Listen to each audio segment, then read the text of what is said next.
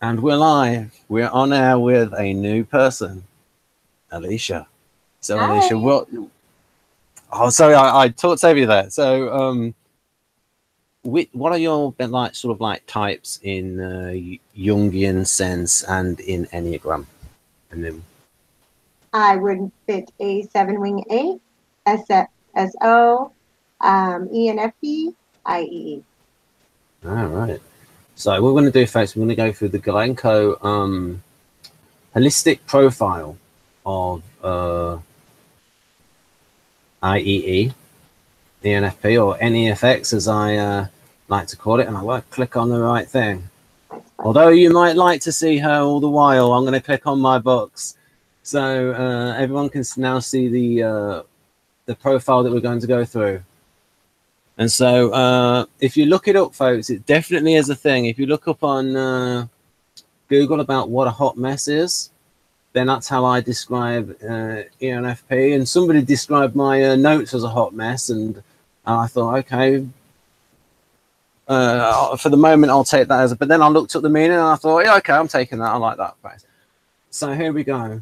So this is the hot mess type, and so this is, as you can see here, we've got general description, detailed description, and that's all we're going to do today. But it's a lot, and we're going to like look at a little bit of. And when I see, and I've made some notes in this where where there's a little bit in here that's the same as what Victor's got written in the uh, the, the Model G profile. We're not going to con- concentrate a whole lot on Model G, but it's just those little bits which are commonalities, Mhm. and so this will make it easier for people to understand. And so, Alisha, what was your initial reaction when you read through this profile? Oh gosh, it was funny. It's so funny because it's so fitting, which is where I was saying I wanted to hear Morgan Freeman, you know, narrating. You feel like an animal. Like it's so predictable on some of these things that you just can't not see yourself. Like the, um, just, you know, um, the motives of other people. Um, seeks to manage feelings of others. I highlighted some things which you don't realize you're even doing. Um, often unable to make himself do what is objectively needed. That's a little, little sometimes. Um, yeah, uh, poorly combines what he wishes for with the concurrent reality of the situation. So over time, we get better with some of these things, but they are kind of funny. Becomes easily tired of routine. Um, doesn't take well to strict discipline. I mean, these things are pretty funny. Right, so there you go, folks. That's a little preview of the things that we're uh, going to go through. So, right on screen now, we have the first part, the overview of the uh, ENFP. So, oh yeah, so I've got a bit there. Well, you know when it says there, um, uh, oh, oh, before I ask about that, I'll, let's go with the first one about that. What, what do you think about that bit there? Keenly discerns the motives of other people. Yes, absolutely. They're very worried about it, apparently. I, I mean, it just happens naturally. Um, and it, and I, it took me a long time to realize not everybody's doing that. But I think it also keeps us, it's part of the Enneagram stuff, I think, too. Ah, yes, because that's going to make you more uh, a- a s- atypical of your type. That's maybe a super ENFP in terms of Mhm. reading people because you, you've got this framework. You've got these frameworks there as well to help in it. Have there been any times where you've been wrong about discerning the motives of other people? Um, I think the hard part is that it depends on what you're coming from, where you're coming from. You know, if someone's doing something to be hurtful, um, but I don't think most people are. I think most people Right. are just unaware of how their impact is on other people. So I, I usually am not wrong, and I will. My SJ friends have believe in the intuition based on seeing the actual things come true. So I was proud of myself for that. Um, yeah, no, it's usually pretty accurate. Okay. Now th- this this second one interests me a great deal. What what about this uh, second sentence here that says gravitates towards the capable and the extraordinary personalities? Any examples of such people? I think it's the second. It's the second. It's right at the top. It says, "I'll just uh, move it down a touch." Right there, Oh, gravitates yeah, towards. no, you mean immediately second sentence. That makes perfect sense. Like checking different paragraphs. Yeah. Oh, yeah. I think that's just for our in our own interest. Um, and it will describe in here that we've become bored by very mundane um, Right. things. And so when someone is a little different or in, motivated by different things, it's very exciting to hear about. Right then. So, uh, what what about the? Uh, so you, you okay? So you've not given any details about who you, which people you find capable and extraordinary. Okay. oh, sorry. Okay, no, you just tell me you want more from it. Um, yeah, I mean, motiv- I gosh, whether I'm motivated by them or not, I guess. Okay, I like when they combine, like the threes, like E Yep. ENTJ, something like that. If they combine that with a nice ethical backing, Yeah. like what they're doing, and that they're, that they're higher value than just you know making money or something like that.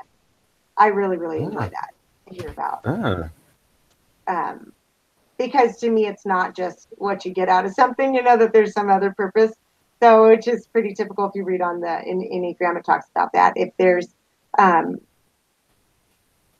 some higher higher meaning to what you're doing Right. spiritually whatever What about this bit where it says there knows how to cheer someone up, how to instill hope?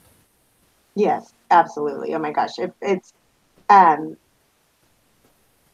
uh, um, which is probably why I became interested in NLP and these things too.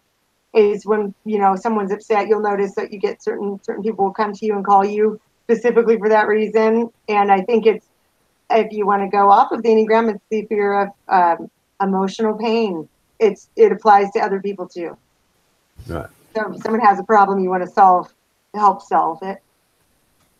Do, you- do you find that you get a lot of that when it says here uh, d- advises on ways out of difficult life situations? Do you get a lot of that? I think you touched on that a little bit before. that You get Mhm. people coming to you. Yeah. Oh yeah, absolutely. I mean, it's um, I mean, it's not something that you really notice until you learn more about it. But yeah, I pretty much know where an exit is all the time in any situation, you know, and that way you're choosing to be there because you want to be, not because you have to be. Right. So uh, we got this next one here. Altruistic. For people towards whom he is sympathetic, can do more than what was expected of him. Well, the bit that got me was it's almost as if I mean you could almost phrase it as well wh- what about those people that are not sympathetic to? That's what made me think about it. Well, you're gonna the lights go off pretty quick on that, and and that Yeah. would be well, what's their motive? You know, Mm, if they're right. if they're not somebody who's being very thoughtful to other people around, and, and we're like, hey, we're all here and we're trying, you know, and that person's not, and they're not aware, that would be a little different. But um, yeah, I think it, I think that's what we're watching for is to make sure that we're all uh, doing a little higher purpose. Do you think the FJs or now we're in socionics land, the FE ego types will um do you think they're more likely to have uh fewer um sort of check boxes and things for people to pass uh to qualify or or or is it a case say with all would you say it's a case with everyone where we'll, we'll we'll say with a lot of the nfs where oh they're sympathetic towards most people unless they do something that then is a red flag or something. Or do you have to Um, connect first I think people are pretty oblivious across both, to be honest. In my opinion, I don't think people are really discerning that much on, and I, I almost think that comes back down to extroverted feeling too, on how you're showing up and whether it's someone that they uh, share values with or whether they're just, you can cross, oh gosh, these functions cross over to me. Because if you were going to take SI, and you're going to Yep. say uh, with FE, you know, and how they do it, and um, mm, trying to think how to form that that thought. Um, I think that I think that my way of NFing, I think that I usually stay pretty true to what I believe in. Yeah. I don't waste too much time. I'm pretty good about it. And that's covered in here too, which is so funny because I waste time all the time. But how I spend my time, I don't regret typically. Where sometimes they will a little bit more. So I actually don't think that they do that better. Usually when, when you do waste your time, is it having fun? And then the Yeah. lead parts, and it was, it was like, well, it wasn't that much uh, waste. It wasn't productive, but it was fun, and that kind of. Yes, yes. So it's like funny. It's like you can be such a time Nazi and then like totally fart around doing things and silly things. But it's it's because it's like it brings me happiness, it brings me joy, and just to get to live in the moment and really letting your you know the extroverted intuition just be free to feel free and not like you're have this mundane checklist life. Right. So when I'm wasting time doing something that's not helpful for someone else and it's boring is double negative. I think what I would, I think I'll sort of rephrase things by, if I sort of state what the stereotype is in terms of the way they frame functions in uh, on the channels where people are just starting to talk about uh, the functions and how they they think about FE and FI. hmm Uh, I think a lot of the cliche would be that the FE ego types, so the FJs and MBTI and Keirsey folks, would be generally they're they're more sympathetic to people, um, unless that person has done something wrong, and then they might say, "Oh, for the FI, that there needs to be." Uh, I'm not saying this is what I believe. I'm just saying how people would say it. Some people might say it on YouTube, and that for the FI people, there has to be a connection there because there's always that cliche there that FI is selfish, and the FE is more altruistic. And I was just wondering if you think that now Jeff would say it's an instinct for him to be generous, and so it could be, and as you know, because you know Enneagram, there's lots of different motivations for this kind of thing. Like people can be so-called altruistic, but it's like they can get an esteem boost from it. Oh, look how good I am for helping all people. So it's like it's not super duper egoless. So It's not at all. That's why when you're, and maybe where I'm, I'm at this stage of learning so much about it and a year and a half in, that they're all getting something out of it. It's just Yeah. what.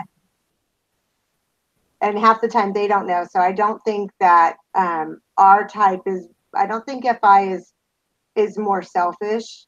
I, Yeah. I, I mean, can be unhealthy. If it's unhealthy, I think it would be Yeah. Because I think it's super self focused if it's unhealthy. Yeah, yeah, I think it's one of those things, as you said there. It's self-focused, and it depends on. Well, then it's like it's not so much about the process; it's about what is the nature of that self. Is that a mm-hmm. self that is, is naturally selfish? I mean, someone can be very self-referential, but if that, but if that is like in quote unquote good person, then it doesn't matter. It just means they have their own standard that they're going by, and and then it's a case of well is their own internal measure good? If the person's of good character, it doesn't matter that they're self centered because the thing that they're referring to is good. Yeah, yeah, absolutely. Because they're all kind of driving from something that's giving them something back, Yeah. whether it's order or or love and affection and and, and compliments or you know achievements or attention. All of it is is pretty. you And, know. s- and you could and you could have somewhere where say we're going a little bit off the subject here, folks, but th- this is the tricky thing with FE and FI because there's a lot of overlap and people use both and both concepts of FE and FI are heavy reductions of the whole area of because it's like trying to cover the whole it's like trying to just use two concepts to cover the whole area of people being nice to each other and interpersonal connections and then those people who write all these relationship books must just think you think you can cover it all with two little definitions so yeah, but it's but it is big. It yeah the way it translates into situations. It's so it's really interesting that they will kind of pull one topic. So what I try to, what I'm trying to explain, uh, or, or really to think about myself and then talk about it is what are these things just and it's one of the things that you learn from enneagram is where you think about it healthy average unhealthy. So what would what would this look like? So in a healthy sj especially sfj they pretty much are helping people just they're not doing it as a self-referential thing about oh this is part of my they're just like doing it. It's like level one in enneagram 2 where it's just an instinct and they're being actively kind. Mm-hmm. whereas there might be other less healthy sjs who perform the same action but they see it as out of a sense of duty. So it's not really then coming from themselves or less from the, the only thing that's coming from themselves is the sense of duty Mm-hmm. it's like, then do they really want to do it, or are they doing it out of a sense of duty? And I think, but I think the healthier, say, a healthy ESFJ, I don't think they're going to be doing it out of a sense of duty. They're just doing it because they just think it's the right thing to do, and they might not even think about it. Just do it. But in terms of a six or a two, they have their payoff is is belonging and you know the um needed the being needed part you know and, and for sixes it's huge on belonging and fitting in the group. So i mean that's still sorry just Yeah. it's still to me it's the same thing. Um yeah, so it's funny like now i'm thinking i mean i if someone asks me for help if i'm somewhere and they're upset or someone starts to talk to me no matter who they are i'm going to stop what i'm doing and i will talk to them and do yeah, that in the moment stuff. And um, I love talking to strangers. I do that all the time. People talk to me. Um, and that I think is is like if someone's upset or you're helping someone, like I was at the airport and their wheels were locked up and the guy was pushing on the um, you know little people mover thing. yeah. Like, you know, you just stop and you just help because it's just the right thing to do. But And um, does that make you feel better? no, I wanted to go to Starbucks. I just Ah, right. Okay. So, I was so- running so- out of time. so conflicting emotions there, different parts of of people. So it's like so sometimes so sometimes can you feel oh uh, oh I love helping people, but then other times it can like uh, it's almost say yes it's the right thing and it's a good thing, but then is it also sometimes oh oh well I don't I want to avoid the guilt of not doing it. Um, I think well, I think I like helping people, so I don't think it I don't think it makes me feel good or bad. I mean, if I didn't do it and someone needed help, I would I guess I would make me feel bad, but I don't do that. So, you know, I don't know that I get a payoff. Like so on the on the 7, which are the social 7, I kind of fit pretty Yeah. close. Um, but they call it the martyr, you know, and you're just kind of doing it cuz that's just the right thing to do in your mind, you know, but it's not for the other reasons that the SJs might get. No. I'm just going to show you something that uh, we're going a little bit off topic, but this is where temperament can come in. And this is something that Jeff talked about. And he talked about guilt guts. Uh, And he says that he's never experienced guilt gut. And he says that he thinks that the SPs genuinely don't, they usually don't experience guilt gut. And that to them, he thinks that it's an instinct. So if they feel it, they're going to do the kind thing. hmm, But if they don't do it, they're not going to be not going to beat themselves up about it or feel as guilty. Whereas he thinks the SJs might feel that guilt thing, or maybe the NFs would, because it's it's so situational to SPs that they don't know when they're going to have that feeling. Oh, really? Of, yeah, of like when to because because them their ethics is so situational. It's, going to be more so with the SFP. I'll see. I'll I'll show you what I mean with because I wrote up what Jeff said about it, uh, Okay. and it's going to be in. Okay, that's the Jungian folder, and then um, it's going to be on. I think it's going to be on functions. It's going to be. Uh, I should have. Jeff Miller's. Jeff on the. Uh, I think FE can be exploited easier, which ah, is maybe what you're talking about. And I just thought of that because I've seen it. And I remember thinking, like, don't you know when you feel bad? Which is probably my FI talking, you know, that I watch that and it's like, actually, I think I just actually figured that out this week after watching people do that with.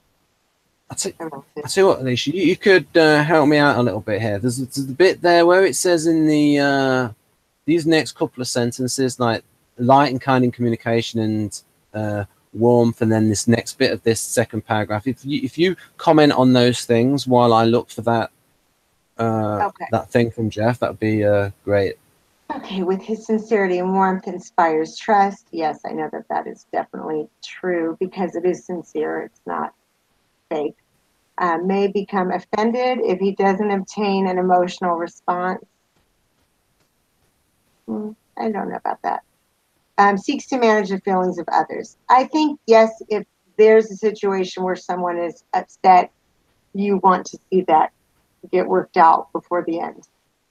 Like that's the goal um, mobilizes and becomes active in extreme situations. And I would think that that is someone needing help, and you just do it automatically without having to question yourself.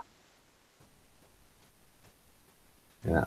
I was thinking that that maybe is like a general trait of the EPs because they're either going to be SE DOM Mhm. or SE role function, and the overall mindset is flexible active, and so they're gonna they're gonna switch between it. And I still think that if you settle, if Dario set an EEG up on uh, ENFPs and ENTPs throughout most of the day, I still think they're going to be doing the SE thing more than the NE thing.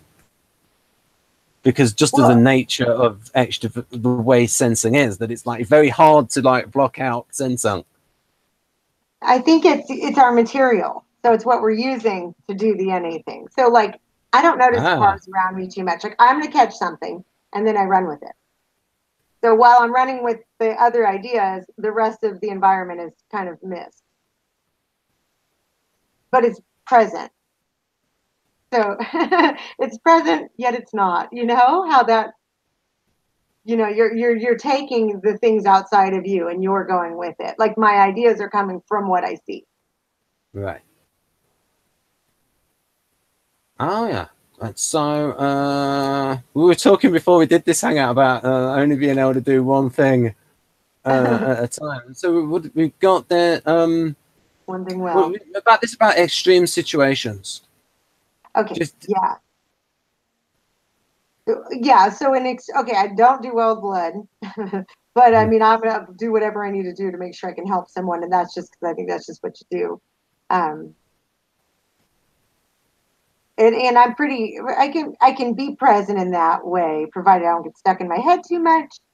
Um, provides resistance to and repels unjustified unjustified attacks. That's true. I will speak my opinion if I need to. But it's cooperative, like you we were talking about the other day. It's cooperative un, until it's not, you know, until something happens. Yeah. Um, this part's funny. He is often unable to make himself do what is objectively needed. It, it's a little pulling teeth, but that's just because we want to feel inspired, and it's not super inspiring to open your mail. Boring. uh, poorly combines what he wishes for with the concurrent reality of the situation. Uh, I think that's idealist, maybe. Also, maybe Enneagram 7, because a lot of that's because a lot of when somebody's writing a profile of the ENFP, then a lot of those ENFPs are also going to be Enneagram type 7. And so some of those things of like all of these future plans or the, the idealism, uh, because I do it as well. And it's like you have the plan, and it's almost like, well, now you've got to do it. You've got to move towards the plan. It's not just enough to plan it. You have to actually move towards it. But then I don't know if you're the same, like that we then have plans for a lot of different things and then we spread ourselves too thin. that's real typical for sevens, but then it's also going to come from, I think, life experience and your instinct. Because um, I was around sevens my whole life who would not complete. They would talk about it. And from the Tom Condon class, he was saying that that's very typical, and actually talking about it makes your brain think you've done it, Yes. and that you won't do it after. So I think I haven't been too bad about that. And I always have tried, you know, the grass is greener if you're missing out thing. You just have to check yourself, you know, so you don't let it run away. I'm gonna give this one more chance to see if it's in here, and if it's not, it's just gonna be okay. It's gone. I'm gonna try and say what what Jeff said. Uh, he said he was watching s- something maybe on a kids show, and he was talking about these kids that they had this thing called guilt guts, where it just like Oh. felt really guilty. And he said that he's he never had that. Of and he, I think he said the closest thing that came to it for him was when he was with his friend and uh, with some uh, uh, teenage girls there, and there's, I think he said like he just like maybe tugged or did something to the coat of his friend, but he did it because it entertained the girls he was with. But then he annoyed his friend, and he, and he felt bad afterwards about doing that for his friend. But that was about the worst he could come up with. So I don't know if he's just doing that to like virtue signal, but Jeff isn't a virtue signaler. So it's like, so it's like, oh, is that the worst thing you can come up with to be guilty about? So it's not. yeah, no, I mean, it's, that is funny. I mean, I guess maybe it would be what comes to your mind. I felt really bad the other day about something. Um, I was getting ready to leave Cincinnati. I went over to go buy souvenirs and realized I didn't grab my wallet when I was there. And I was like, pickles, you know, so I'm leave there and I'm trying to walk back and like four different beggars were on the street trying to hit you up money. I literally had no money. I couldn't even get the things I was trying to get. And then this guy, as I'm just about to walk to the hotel, has this CD thing and he's kind of sho- pushes it at me and says something about his CD or, you know, he made. And I said, I don't have any money because I just had people hit me up the whole way. And he said, I didn't ask you for any money. And he turned and walked away. And I felt so bad because I didn't, you know, it was just one after another. Yeah. I didn't get a fine. I did say, "Oh, I'm sorry," uh, but he already had walked away, and it was already done deal. Yeah, I mean, it's a bit of a cliche phrase, but there's truth to it. That phrase, compassion fatigue, where at a certain point, people can uh, they it, they get like they get almost normalized to it too much. And I can give you an example of this, where in India there's a huge number of uh, poor people, and they have uh, cricketers there who become very wealthy. And it was when, uh, and it's almost like it becomes normalized to them. So it's like they almost can like, it's almost like when something becomes a huge, big problem, it's like they don't want to think about it, and it just becomes that thing that's accepted. yeah, yeah, I could see that. And I and a an, and a cricketer from Australia, Steve Waugh, he he would help with um, there were these people in uh, India that had leprosy, and as you know, leprosy is contagious. Mm. Uh, and so he went, and it was almost like some of the uh, Indian cricketers said that they almost felt shamed by uh, Steve Waugh because um, he was doing something that they should do. So there is that thing like if if you're surrounded by it so much, it's like, well, what can you do? Whereas, as you said there, I mean, some problems are just so big that people can't. Because because also they might think, well, if I had to help that person, I'd have to help everyone. I couldn't help anyone at that point. I literally Yeah. didn't have anything with me, but it was funny. It was such a good example, and it's kind of like the stuff we're talking about, where how much we let things hurt our feelings or upset us is an is a example of us, not the other person. You know, because I didn't mean that towards him. He's putting, he's offering me something. I wasn't going to assume he was going to give it to me. It wasn't him saying, "Here, please take Right. this for," you know. So I know I hurt his feelings, and I felt terrible because I didn't intend to. Right. But uh, at the same time, I kind of think that's why I try to let things roll off, which might be the seven-ish things. But to assume that that person's trying to hurt your feelings or be offensive is not always right either. So you know, Yeah. my my own coping way is not to let it upset me. Right. Okay. Yeah, that makes sense though, and, and the fact that it stayed with you. Uh, well, it's something to learn from, but it's an understandable uh, situation. Uh, oh, there's a bit there about the uh, the TE. Uh, he is often unable to make himself do what is objectively needed. Uh, I don't, you may have talked about this already. Uh, I'm not sure. Poorly combines what he wishes for with the concurrent reality of the situation. I think you've had, for, but demonstrates initiative. First demonstrates initiative, but then seeks people who ensure implementation of his ideas without his participation. I think you talked about some of that, but I don't know if you talked about the last bit about almost deputizing people. yeah. Okay. So that it seems very self-pres to me in the way that that comes out. I mean, at least from what I've seen. Um, I think that part of the focus with the NE and with the, you know, desire to be entertained a little bit, we do have to, all, you know, you always have to rein in what you need to do with what you want to do. Um, that's a choice that we have to make. Um, the implementation of his ideas without his participation. That is a big thing, though. I do say Enneagram sixes who start businesses typically are not working in them, but I mean, I I have been. I work in my. I'm a one man show, um, but that's also because I prefer to not have to teach and explain it. Right. Because that takes time I, and energy to do that. I heard from the uh, uh, the 1980s tribute Enneagram guy, Ian McNay. Um, that um, you gave an example of. I, I hope you're listening, Ian, because we love we love your channel. Yeah, it's a very good channel, and and and it was because of he, his. I mean, he he promoted the book Enneagram Made Easy almost as much as I promote Dario Nardi's book Eight Keys to Self Leadership, and I got mm-hmm. that book because of him. So uh, thanks to him for that. But he also said he was in he was involved in business, and he said that it was good for him because it enabled him to see all the things that could go wrong. Oh. And therefore carefully plan. Is he a six? Yeah, but I do, but I can see though, but so the six can do that. But I would imagine though, but if they ever get any like difficulties, they might feel it worse than other people, oh, and yeah. then the stress level. Yeah. Involved. Well, I think the worst case scenario things are real for them. Um, I worked with at least one today. I almost wondered if they were both. Um, and it's so funny and cute because you'll hear the references people make constantly, you know, what they're doing, where they're, you know, making sure this is okay or that's okay, and it's safety stuff, and it's just very type related.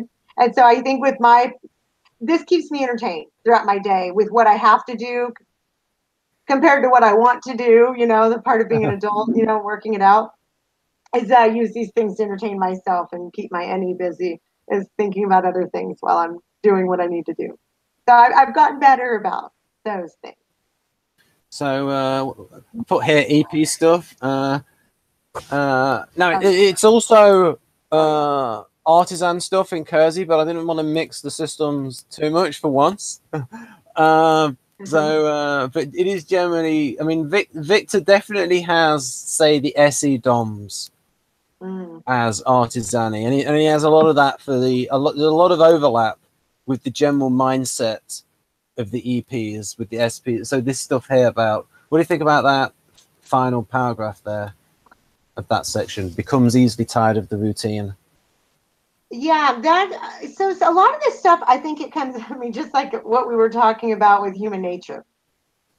How much of your life you can actually change from your boredom level or that you have to make it entertaining the best you could. So in my situation, I have not changed a bunch of things. Like I will take on hobbies, um, like these things that I like to learn about NLP and Enneagram and typology and all these things that I have nothing to do with my employment, but um, it just adds to my mental entertainment. So I think this is, but it is common. I know I hear it a lot with other people, but maybe they had the ability to rely on someone else to financially support them while they tinkered around. Right. You know? So this is one of these things that Jeff would talk about where he would say uh, preference versus behavior. Yeah. Oh, yeah. yeah. I, I, I think over time they say you kind of get stronger in those shadow functions. Yeah. Uh, well, some of them. Uh, yeah, or you can, or they, or, or I think maybe people discover workarounds. Yeah, that would Um, be really, really funny to find out. I bet you're right. Like cheats Yeah. around the system to uh, fake Yeah, it just it's like- well enough. I mean, 90p might think like they're like, oh, I've got all these good business ideas. I I need to hook up with somebody who can get stuff done. And so You it's get an ISTJ. You, yeah, yeah, yeah, get get an an, get an ISTJ, they, they, they get it done, get it implemented. Yes. Oh, they're amazing. Well, but that's what a good partnership is. Good friendships and good partnerships where you can and you bring your talents and they bring theirs. And Ah, yeah. for You, you, seven, you're using you're using the FI with the TE there. yes, yes, you are. But uh, but checking in to make sure you're not taking advantage of that, you know, and making sure it's working for everyone. Uh, so this bit about here, what about the meticulous, detailed work? Is that like a a strain? Uh, so it it uh, I always say it's like a failed perfectionist because there's a part of seven. Seven goes to one.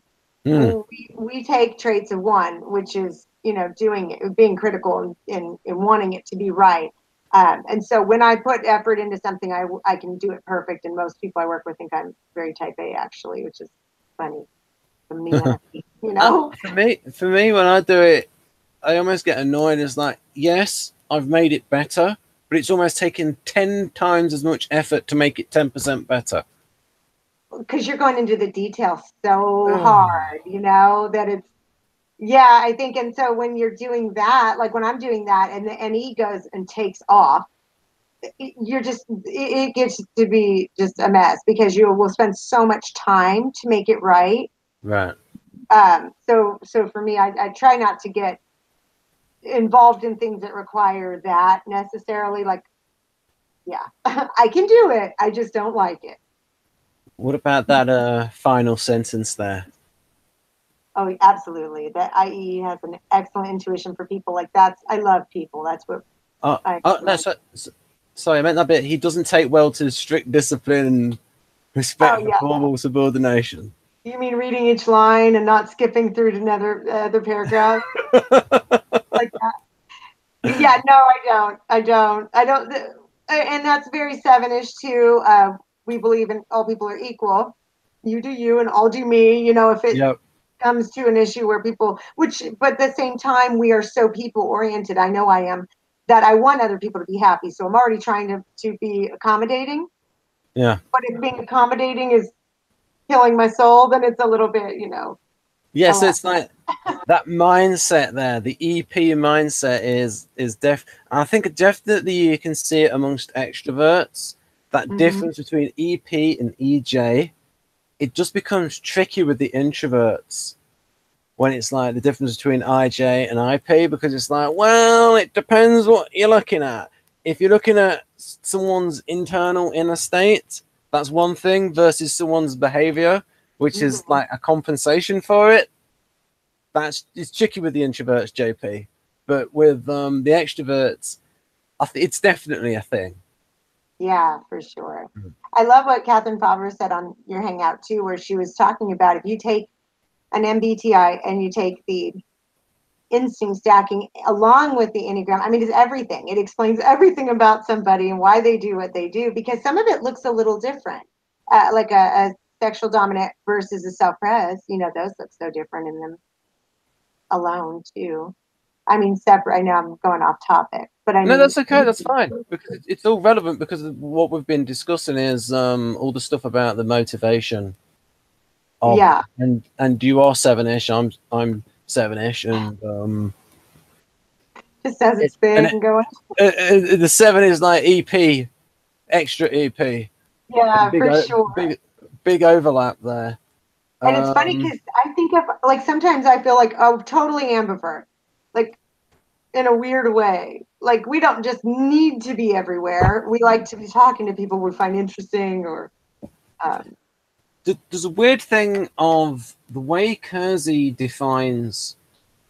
It's just what you said there about ambiverts, is that abstract types can mhm. tend to be more in their heads than the concrete types, and of course, well, there's two kinds of being in your head. So it's like, are you in your head because you're doing something abstract, or are you doing it because you're introverting? Mhm. And so it's like, uh, it's a little bit tricky because everything that's abstract is inside your head. But so when you get an extroverted uh, intuitive, well, they are going to have modes where they're inside the head a lot because that's the nature of abstraction. Because Mhm. you sense things that are outside of you and the abstractions are inside of you. So they can they can probably do things that look introverted. Yeah, yeah, for sure. I mean, it's so funny too because if you don't allow yourself to let it wander, you won't get to any of those patterns and the things that we do naturally and skillfully that not everybody does, you know, which I appreciate the different all the different types because I think they do all bring something, but we will look spaced out quite a bit of the time on our own. Mm. We're not we're bringing that in, you know, because you're like all over the place I- and putting and I think- together. I think Jung would say is the way to tell the difference is the way their extroversion, uh, the way their intuition is extroverted or introverted is like, what is it stimulated by? If it's stimulated by something external, and then you take on that abstraction and your world goes off somewhere, it's still stimulated from it's it's still an external extroverted objective intuition.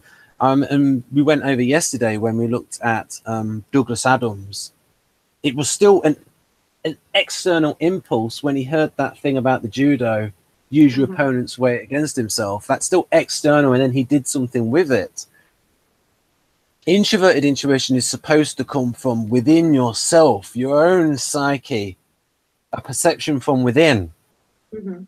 so say say uh, in the most extreme example something bubbling up from your unconscious that uh, and then you get stimulated. I know it's it's weird that NI thing, isn't it? And so it's not really based on anything but their own like unconscious like weird dream or something, and so it can Wow. get super duper subjective. Yeah, that sounds more subjective than the other ones we've been Yeah. discussing, actually. So um, th- this actually should be a, a hangout on its own about the difference between, say, who who is more subjective and more objective, like an extroverted intuitive type Uh-huh. because they're extroverted, they're more objective because Carl Jung would say the extroverts are objective and the introverts subjective. But if you compared them with, say, an SI Dom, well, but the SI Dom's are sensing type. So are they more objective because they're sensing types or less objective because they're introverts? Oh, I don't think they're objective at all. I, Yeah. I, you know, this I'm excited to hear about with Katherine talking about the difference of combining the two because Yeah. you go and you look at that agenda that everybody has their own, and you combine that with their functions, and what are they gaining? You know, it's Yeah. or what are they coming? What are they going off of? Because in the SI, I mean, the ones that I know are so based on absolutely their only their experience, and if their experience has been limited, Yeah. it's this big, you know. although in terms of behavior and that's one of those things where you want to look at the kind of sj that they are like if they're the kind of like book smart sj that will like because they do exist where they're just like I do know one. voracious like look at the most popular titles say that would be a thing that people could look at if they look at the top non-fiction titles on amazon then you can judge for yourself folks how many of these are like sensing type sensitive Oh, yeah. intuitive kind of books and i think a lot of them would be like it's like st stuff practical stuff and it's like and, it, and if- if it sounds traditional i think whoa these sjs are really liking this thing because uh, certainly with, if you look at political books on amazon say the top 20 18 will be say uh, libertarian or conservative leaning hmm books and you see i think those sjs like to read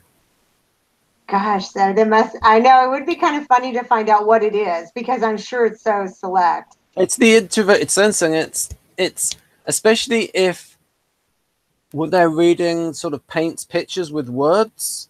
hmm They really get into that. That's my from what I've spoken to my mother about about her particular reading process, the way her introverted sensing works. Where if a smell is mentioned, described, It doesn't even have to be described. It just has to be mentioned, and then she can instantly imagine the smell. Or and I asked her about, and so she can imagine things on a on a concrete level.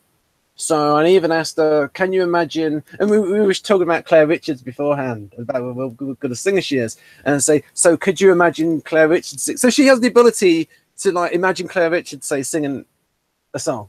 So great. That means you can imagine your favorite song sung by different people. You know how they sing. Yeah, which they're not doing. That is like some pretty good. That's like the introverted sensing superpower, where as long as the imagination is you've experienced it and it's so reality based that you can have this instant recall of what something because I have to concentrate hard to imagine a smell. Yeah, me too. Like I, I don't, can't even see a reason to do it. Right. So the reason I brought this up is she was reading through all the like the ebooks of say the Game of Thrones novels, and they're notorious for having so much description in them, and she loved all the description in them. So I think uh, the SJs, especially if they're reading books about like just things in the past and the Civil War and all the detail, all the sensory detail they're going to like, and that's a thing with SI, the sensory mm-hmm. detail. So how did we get onto this topic? We've got it's two MPs. we, I can't. So we've maintained our two viewers though, although maybe they're different two viewers than what they were five minutes ago. So we'll uh, we'll get on to this. Oh yeah, I think we were talking about something about introversion, extroversion, and uh because yeah. uh, you mentioned ambiversion, and then I I took the ball and then I ran with it off the field and into another field. Um, well, it's true though. I mean, all of it shows up, and it's true. It was funny. I read somewhere, and I don't know who had said it, but said SI DOMs are seeking out experience, and I'm like, not the ones I know, but I mean, I yeah, it's different. I've noticed that. Like, ENFP is an enormous type likely to want to travel. Yeah, oh, yeah, yeah. No, that's a real thing. I mean, it's so funny. Like uh, Richard Rohr talks about that in his his um, Enneagram Seven, and he's just saying we love to just even look at flight patterns, which is actually like anything, like anything that's somewhere else because it sounds fun and new and something different. Right. Um, yeah, that, as you, what you said there, like as you said, there's something different, and because uh, if if people see, because Blake Silvertooth, great name, was on this channel on Friday and uh, if you, people go to her YouTube channel, you'll, you'll, see that she like travels everywhere. And I was just thinking about what they would get out from traveling, what, what they would get out of the experience. Well, you've got the EP thing of actually like being active, but then there's like meeting different people, and then the new experience thing. So it's like with ENFP and like traveling abroad, it's like you've got the EP thing of being active, you've got the NE thing of the curiosity, and then you've got the NF thing of meeting different people and you're just enjoying yourself. You know, it's just so um, present and in the moment. And plus, when you're going back through and you're doing the normal everyday things you need to take care of, there's just so it's so boring. It's mentally boring. Whereas when you're going somewhere different and you get to take in other things, it's exciting and fun. There's some some cliches are, are cliches because they're true, but there used to be uh, an old one, and, and ENFPs will definitely agree with this cliche I'm going to come up with now. Uh, not not come up with. Repeat. Uh, travel broadens the mind. Oh yeah, yeah. I I mean I think it does. It makes me feel alive. I mean I can do the same old thing in routine. I've been doing it for a long time, but uh, um, but I won't do it the same way every day. I don't do anything the same way. That's Jeff. Like he always talks about wanting to freshen it up. Yeah, it keeps uh-huh. it exciting for whatever you're doing. So we have here the detailed description. That's it, folks. We've just been right in there. We're going to get into the detailed description. Oh yeah, and I'll put here like um, Keirsey sort of like really demystified intuition by just saying it's induction, but uh, I think this is a fair description of the process there. On um, what do you think about that?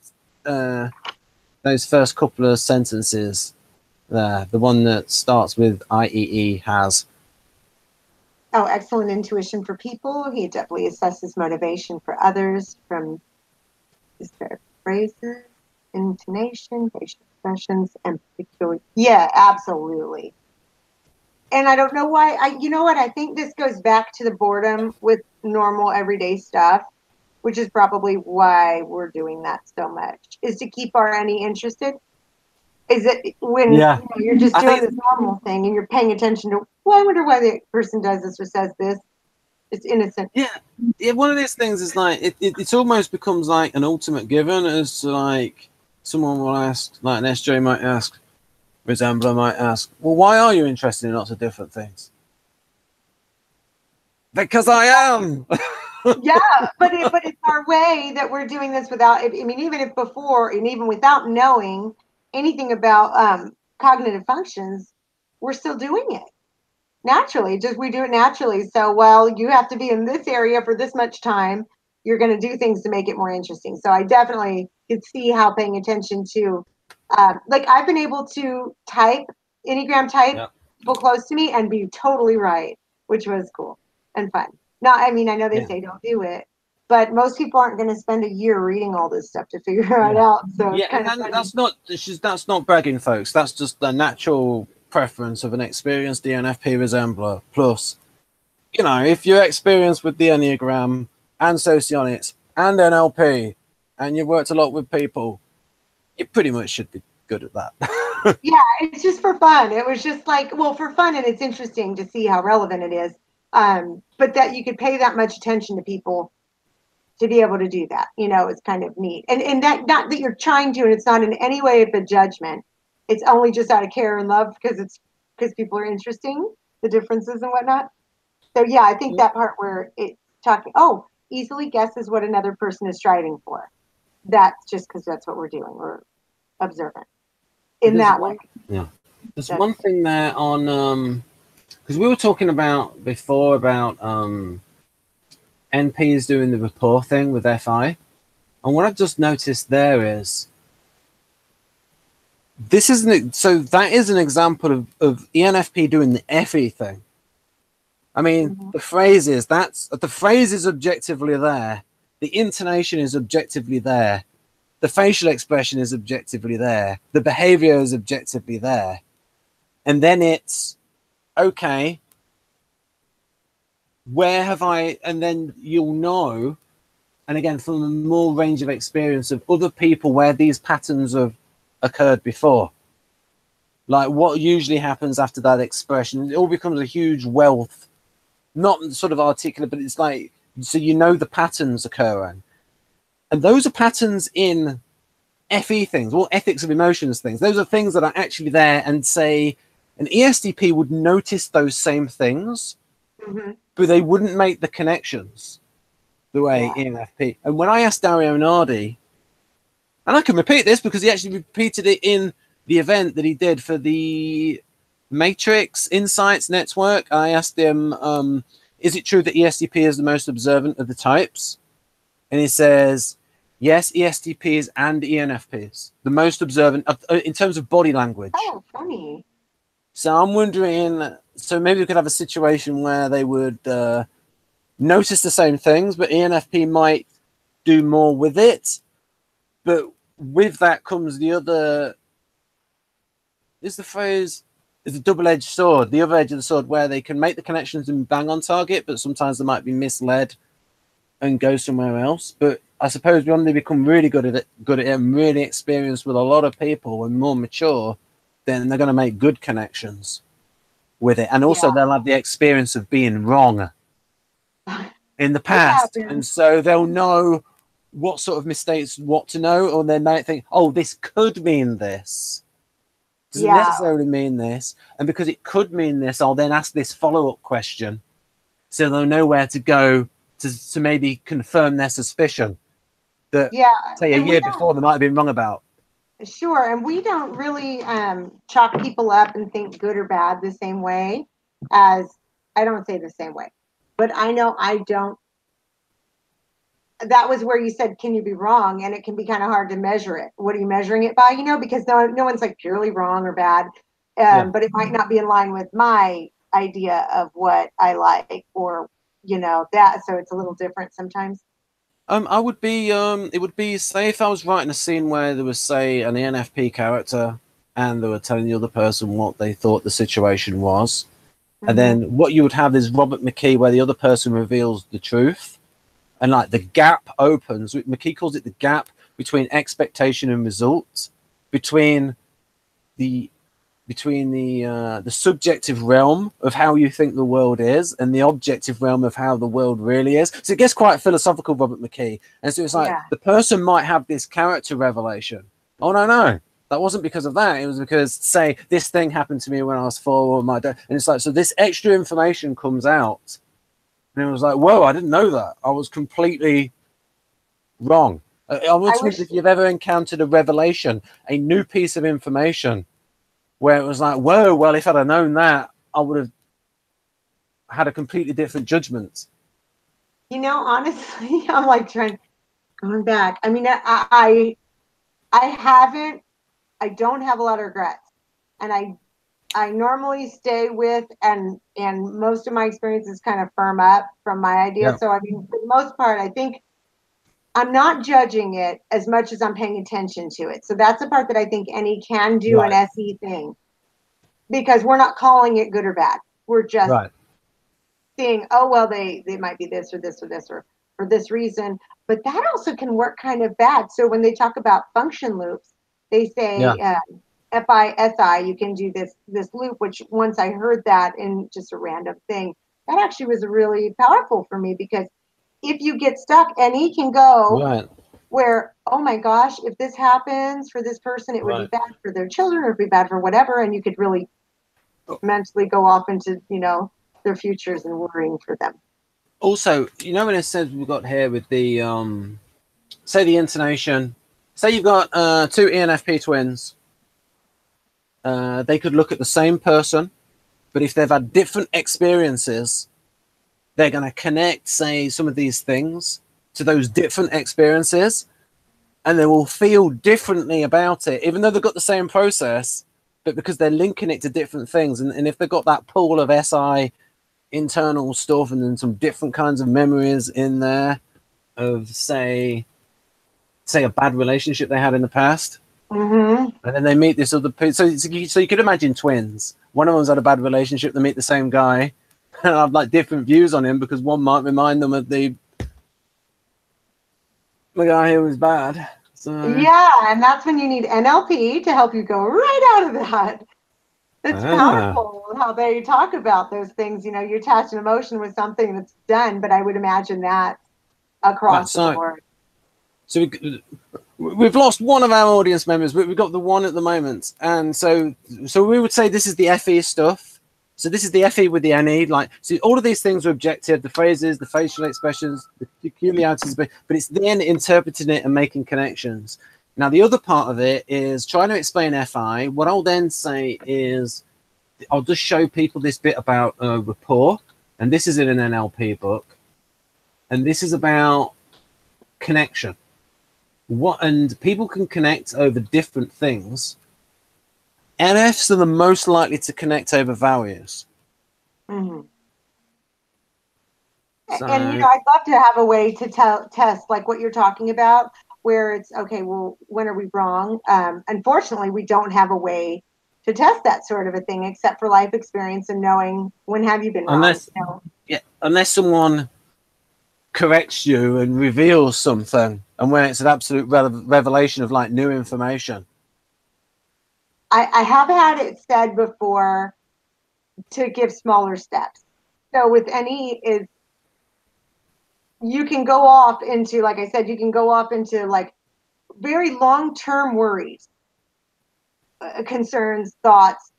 They're not what's happening right here and right now. You're thinking, well, because you know this person does this, it means they're going to do that, and and those things I think are relevant and true because patterns are what they are. Yeah. Um, but but then by the time your mind is fully conceived what you what you think of this, you really couldn't explain it without. Like I wouldn't even want to talk about it. It's too much. It'd be tiring at that point, you know, because of what. I'm like it just doesn't work for me. But really, it, it was because I went through all this Yeah. mental. Uh, and i think an enfp with an enfp with assembler with enough experience it's like okay this is what it usually happens because they'll have a lot of experience of like okay this has happened 20 times before and then once or twice it wasn't this thing yeah, So it's like I said, it's like okay, this is probably this, and then they'll know how to, f- and they'll probably follow up naturally. yeah, yeah. And I mean, there's a level of interest I have to know how something will work out, but I think it's one of those things that um, for sevens and for ENFP, I think it's both of it is is accepting something as it is. So as wonderful as everyone can make something be in the world. I I think one of the reasons why ENFPs can read people well is yes, there's the magical power, but there's also the fact that they're very curious and like will interrogate people for information. yeah. yes. There's a well because it's like, oh well, why? You know, because we know that there's reasons we might think something. Yeah, we do do that. That's so funny. Mm.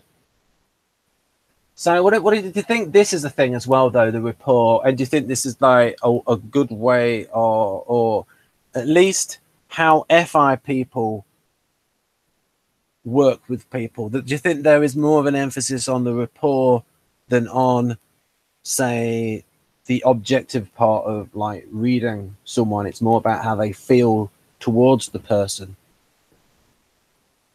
Um, yeah, for me, when I read that, um, to enter someone else's world and to make them feel that you understand him, I literally am trying to do that. So it's and it's in such a non-judgmental way. It doesn't matter what way they vote. It doesn't matter, you know, any of those things. It's just to understand why do they feel the way they do, or why do they believe what they believe. So I do think that's very um, objective. Yeah, and so that's how. So this, folks, is what I think is the mechanism of how socionics ethics of relations work. And so, and that is why, and it's it is usually and a lot of the time it's based around shared values. Mm-hmm. So it's just so it's almost as if MBTI FI is the mechanism of socionics uh, ethics of relations because it's like that that's the sort of the content of it that's being used to judge the, because it's not a magical ability to judge to read this thing in the air between people it has to be based on how you feel about the other person and the connect the the level of connection there. Mm-hmm. and that all has to do with empathy and stuff and putting yourself in another person's shoes and making those uh, connections. Because it's that imaginatively putting yourself in somebody else's shoes the vicarious thing. Yeah uh, yeah for sure. And there's times it doesn't happen. I mean if i'm talking to someone and they're telling me something and it just ethically isn't in line with anything that i can really sympathize with too much. There's times I don't stay with it a whole long time, but I but I'll try. You know, I try to do it, and I. Have you ever like like um uh is, is there ever a point where like half of you has been well that's disgust that's mildly disgusting but it is interesting go on a little bit I can I can usually find something that's like because there's nothing that's like purely evil in my eyes or wrong really where I'm like it's I usually like, try to find a way to make it okay to listen to, you know. it might be that is a crazy idea, and I really hate that. But I'm curious as to why you think that. it's like a train wreck, just watching the train wreck come through. Yeah, no, I haven't heard, but most people still try to, to say it in a way that doesn't sound too harsh for themselves. So, yeah, there, there's definitely value things. And then there's a thing there. Um, easily guesses what another person is striving for. Yeah, I think you you covered that uh, oh, yeah. before. And then then we've got a bit here about learning quickly. And I've uh, I've written a bit about this because uh, I'll see if it's true for you because this is an example of how I think uh, NE works. Uh, and it was what I was able to do when I was at university. If it was something that I could relate to something I already knew, then it was like boom, boom, boom, boom, boom, boom, boom. Or if it was like just based on a couple of premises, then you could do that thing. But when it's like something completely different, it's like, oh no, let me try and get all of this. And it might actually be slower because I want to try and get all the pieces together. Because that's what it was like with NLP, because it was like it was something completely new and mm-hmm. there was like all lots of separate bits of information. And I was like, no, I need to see how it's all connected first. A, so that I can understand it, and B, so I can mem- memorize it. Yeah, absolutely. So you know what to do with it because it's not. Um, I had the same experience. I was trying to do the one practice, and I didn't have an emotional anything to use, and so I couldn't really test it. But I was chosen. I didn't have enough time to, you know, pick what I wanted to adjust. So and also, I, I think John Grinder would say is like, well, you're not supposed to use a technique. You're just you're just supposed to concentrate on the other person so much that you respond naturally, which is very much like in acting, where they say because I read a book called Directing Acting, Directing Actors by Judith Weston, and basically it was you place all your concentration on the other person, then you're not going to be self-conscious about your own performance, and then you're going to react naturally to that person. And and I would say, I, and I was somebody who was in a school play, and it really helped that everybody else was so good, or at least I saw them as good at the time. Yeah. I couldn't act with anyone who was bad. Well, it's the the presence. It's being present in anything is so important and so powerful. I think for you know the moment you stop, if you're worrying about something, it's you're not present. Right. And uh, but we with the practice that that it was was taking a um uh, something that had a um, something you wanted to change, a situation you wanted to change, and and you know dissolving it over visually dissolving it, emotionally dissolving it and I, you know, you need to start from a good place, something that actually mattered. Um, but it, but it was a neat practice. So I think that is something that I'll want to work on. But most of them, it was a lot to take in at one time if you're actually going to be um, proficient. Yeah, it's one of those things where it's like NLP can work with um change. I mean, if it's something that's really extreme, like uh PTSD, um, he talked about it once, John Grinder, where he almost had to do, I think he called it a double dissolution mm-hmm. of, uh, and I, I think there the hypno, uh, there's a good channel out there, folks. You want to talk about the, uh, it's Sp- uh, Spartan Life Coach, where he, he talks a lot about, and he's honest about the good and the bad parts of NLP, such as like there's certain bits that don't work as well, but it's really the business part of it that uh, he doesn't like. The way the courses are run and things, Oh, but yeah. the actual material. And there's so much material out there. You don't need to go on a course.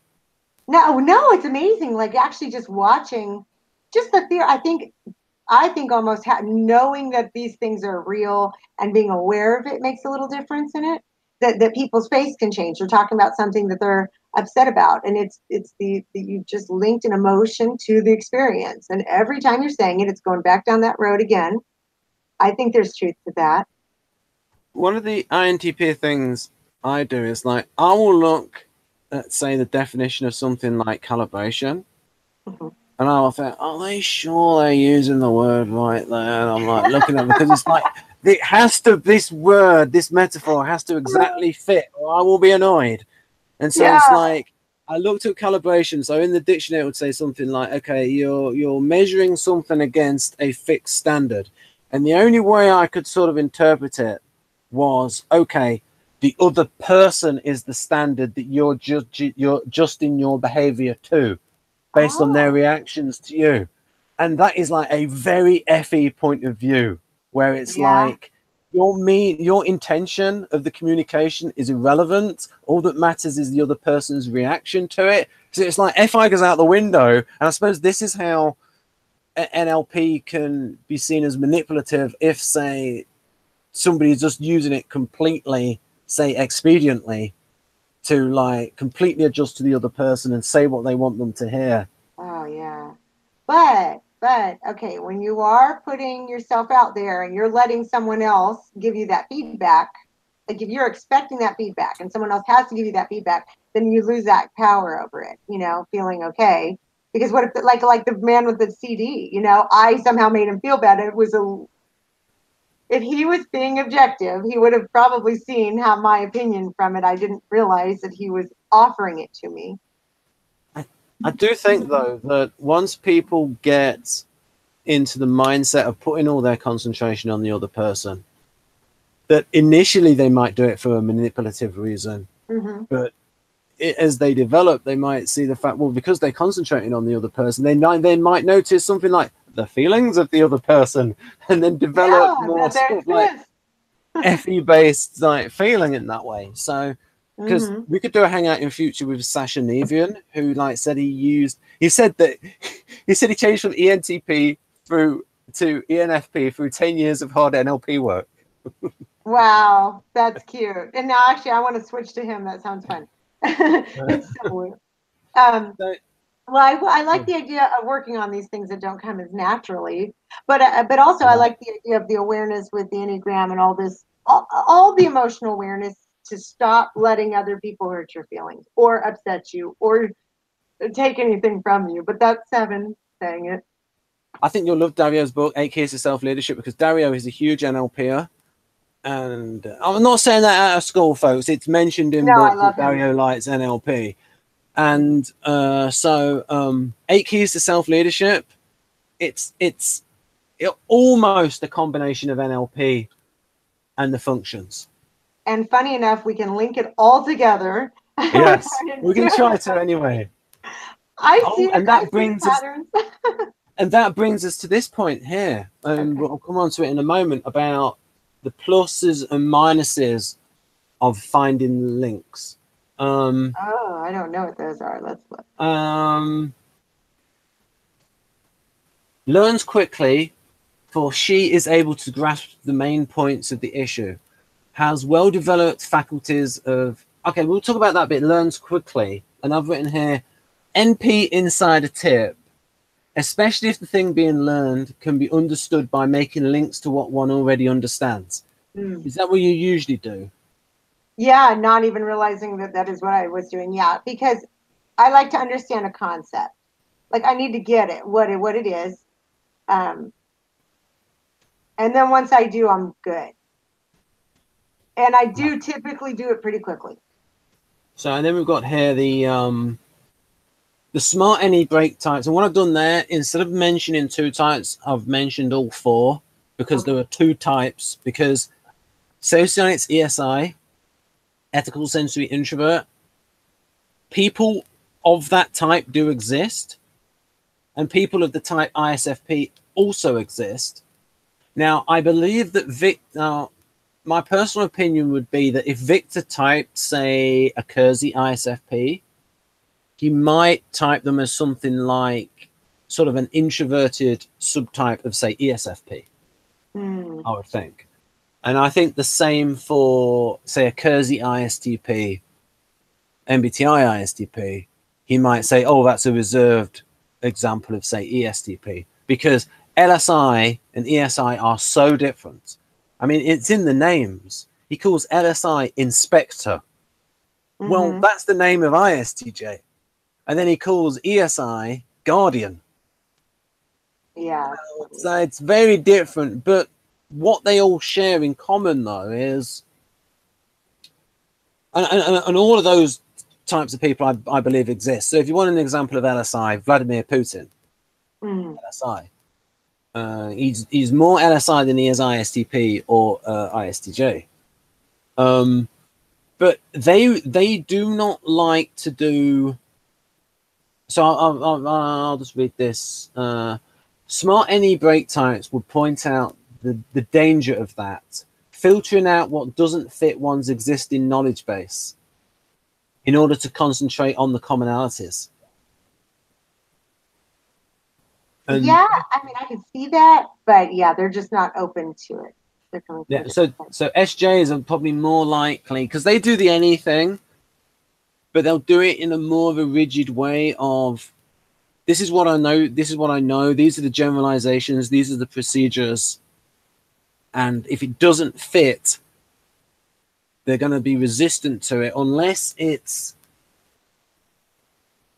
I mean the the ES I mean for an ESTJ to accept a new thing that's outside of their knowledge base, Mhm. it would have to come highly recommended as there's this new thing that's a lot better because they, they, they would see the dollar signs and say, okay, I will change because they're seeing the dollar signs. But even then, Absolutely.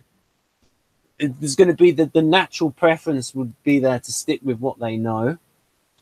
And so, in about the last six months, I have been thinking about how do SJs use any, and I think it's actually part of the SJness. they reject it. They they push it away. It's bad. What they like is no is good. It's it's like it's not the way we use it. It's imagine if you used NE and you you had far fewer ideas, far fewer frameworks. You saw far fewer. Or say it was like if somebody showed you the connections and you really liked the connections, but you couldn't come up with the connections yourself.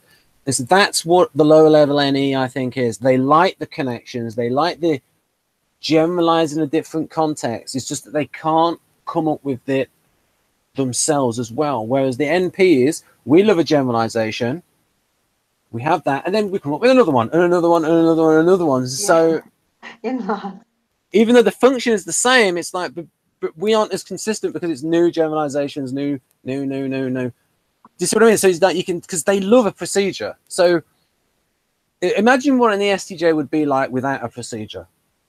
They've got oh, yeah, that extroverted practical thinking.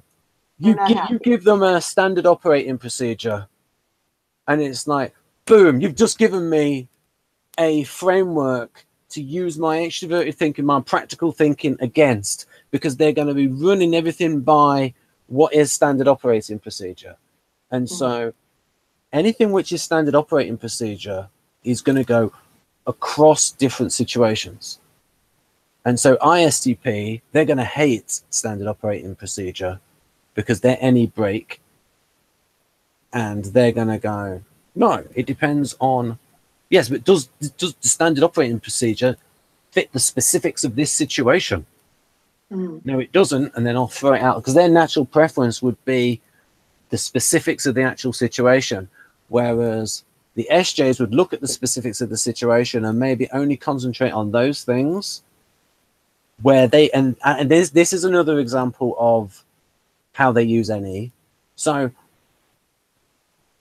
an SJ, if they were a robot, and they're not a robot, but if they were, they've not just got one algorithm there of things to connect to. They're close, but some of them they're they're close. But so it's like they've got a lot of things, a lot of frameworks that they can find connections to when they come across a new situation.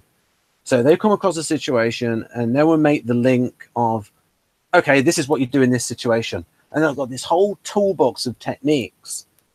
But it's still a case of they have to make the connection between the present situation and then the technique. So they are they are doing the NE thing. It's just they're using it in a lot more low key way than the NP is. And the irony is is that the way they use NE, it results in the rigid behavior. So it's weird that it's the rigid behavior is is because of the NE, but it's an NE where they can't come up with the generalizations themselves. They have to be supplied with it. Absolutely. Well, when what I've heard about it too is it's it's coming from like ours is coming from a positive place. It's coming from hopeful. It's excited. It's happy about a new idea, and yeah. they're going from it like a uncomfortable, unsure. At least the way that I've it, it, kind of like we do that in reverse uh, we do that with the past stuff. Like that's boring. I've already done it. With you know, what am I going to get from that? You know, some like a, it's a negative. I the way I I believe it's attributed is just that not not a good experience, not positive. It doesn't sound like a great idea, and I think because they don't like to create, they don't want to risk it not working out. Yeah, I think with the STJs especially because I follow a lot of stuff on military technology and that lot, and I know about these long term projects. And if you change something, just one little thing that makes it a little bit better, but it has so many knock on effects. Uh-huh. And um, so the SJs might be like, no, we're not changing it, we're sticking to the plan. Everything has been planned out. We've got all the machine and the tools and ready for it. We're not making this change. I think maybe SFJs may be more open to an idea. So, for example, my grandmother, when she was 80, traveled to Australia. So it's like again, it's a, if it's an idea for oh, we could do this thing and we go together and do this adventuresome things. That's a little bit of NE. So yeah. if there's a social aspect to it, oh, we could go this place together. And so, and it might have been on with company that she's comfortable, people that you know. There's yeah. that's a big thing, though. I mean, that is a long flight, maybe a 12 yeah. hour flight at age 80. Yeah, now sounds rough. I'm after a few, I'm ready to pace yeah, but, down the aisles. so it's yeah. like, I, I think maybe, so it could be argued that the STJ STJs don't do the NE thing. Not not so much because they're bad at NE, but because they're running it through the filter of TE, Mhm. where it's like, okay, so you want us to drop this plan that we've all planned out and then go on to this other thing because it's more interesting. Yes, I can see it's interesting, but hey, I ain't getting my eye away from the ball of getting this particular thing achieved. Yeah. Well, with SI, with it being so um, experience based, and you know that goes in the category of I know for sure. At least that's how I believe from the ones I'm close to and I know well. Is like this is a, the only reliable information is what I know for sure, and that's what I think goes in their SI, and the rest of it's like mm, you know just where just it's just so funny how different I can I look at that and I'm like oh yeah no that's it just is a very different outlook but my my SI is not as fun I guess as theirs. I suppose these because there's four different types of intelligence. It's almost like a game of paper, rock, scissors, where in certain situations it's great to have a logistical brain and get it all right. Say in retail, where you get everything right, it's razor, razor thin margins, and you just get all the logistics right. And you have a situation where, like Walmart, where all the logistics are right and the razor thin margin. Um, in something more entrepreneurial, that wouldn't be the place for SJs. Oh no, they're enforcers. I mean, they're follow. They're handling the routine. They're enforcing the rules. They're. I think anyway that they do that amazing.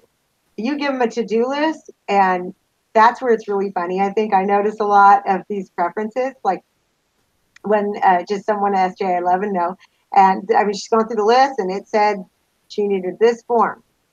And I was asking, well, what's the form for? She was having trouble finding it, and then I find out it's just they had wrote it wrong they wrote the name wrong. And this is adding like double time to this poor lady who's doing the list exactly as she thinks it needs to be, but it was wrong. And so, you know, where if you take another approach and a more ENFP approach is, well, why do we need it? Because then I'm going to decide whether I want to spend the time finding this form, figure out if I need to do something else to fill that need. Yeah.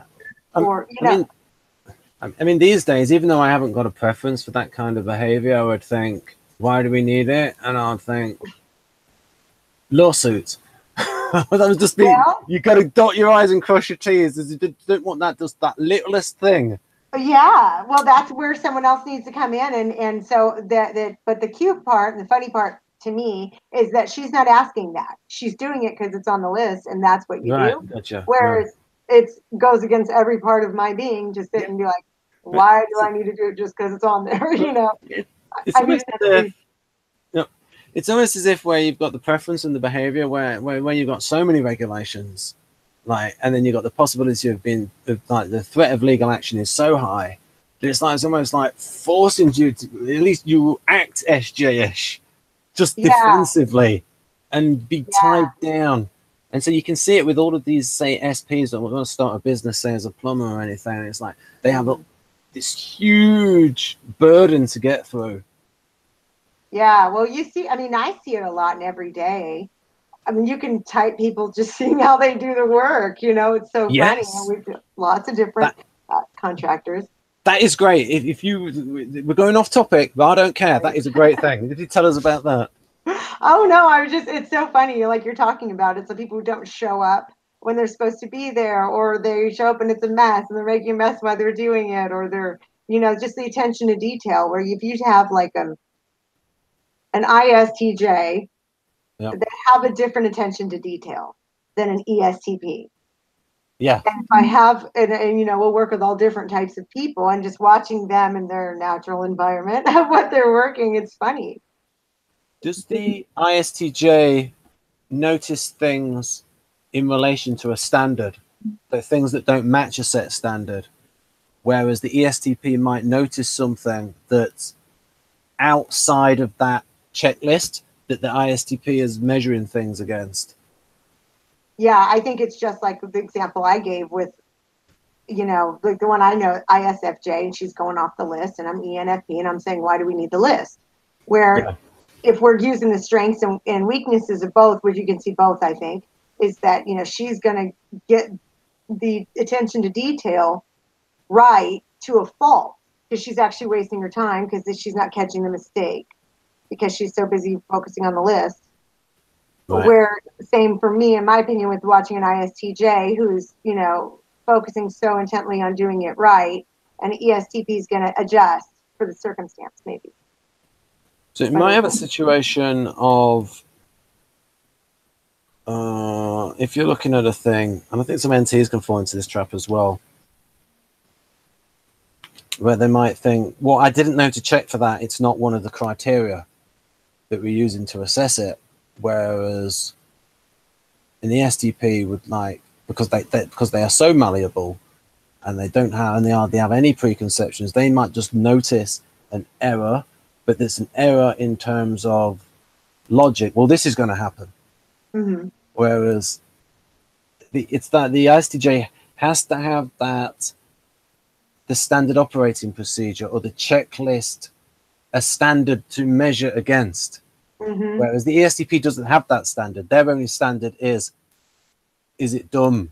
Will it work? Is it illogical? Then they might go, well, that won't work. Yeah, absolutely. No, I definitely see that. And I think that's where the strengths and weaknesses come in because if the ISTJ is so stuck on the standard that Yeah. they can't adapt when needed in normal everyday events, you know, where you you follow what I mean? Yeah, I remembered something that Wojtek said about his father. The STJ ran a business in Poland, and he said he read he read everything on a, a particular book. Uh, and so, so he so, no, sorry, he read everything on a, he read every book on a particular subject. And he said he initially didn't didn't believe him, but then he realized. And so you, so maybe you can think the more intelligent uh, SJ is, they're not just going to be like buy one book. They're going to be like they're going to read pretty much all the books they can on how to do a particular thing. So it's like they're going to have all of the like techniques there. So be Mhm. technically very good. All the ways look look for keep up with all of the what are the new trends coming in that people respect and have been endorsed. So it's not just a case of oh I'm going to stick to this way of doing it that I've been doing it for 40 years. I'm an unthinking robot. But the real smart ones are going to have all of these different techniques and procedures that maybe new procedures that are coming from people that they've respected. Say some say somebody in business Yeah. like that someone who's got a good reputation, like someone like Jack Jack Welch. Say he writes a business book, how to do things, they might read that book because it's the respect that comes in and the authority. And so they'll have all of these different techniques. And I suppose so you, you've got that. So you could say a really well developed kind of well, we'll put that in the SI bucket. The, well, this the way MBTI defines it in Dario, even though I don't think it's like that.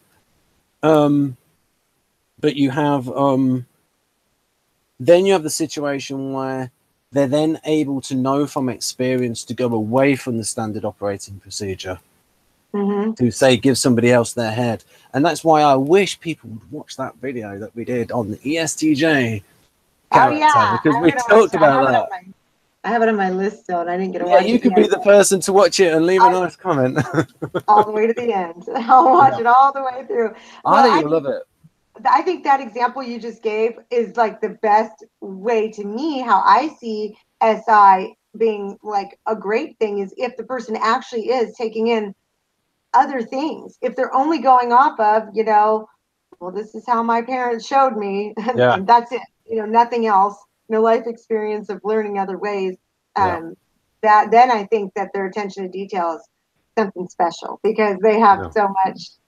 Like I work really well with them different ways of doing it but um yeah i like that idea next time you work with an stj you could actually ask them to actually find out their process about whether they do sort of like update their techniques so there's almost as if you can get really cheeky how often do you update your robotic algorithms? Right? I know i love to ask them. well i do like to ask questions about what someone's interested in and things like that but the one a lot of the ones i know don't don't read a whole lot um will like to watch a lot of political things. Right. maybe more estjs i know. I think that's the love to love to argue the points they already love to argue which is funny i don't like to talk i don't really i don't really worry about that too much because i'm worried, worried about that everyday and it's because well they are natural leader types estjs a lot of american presidents have resembled that type. Mm. uh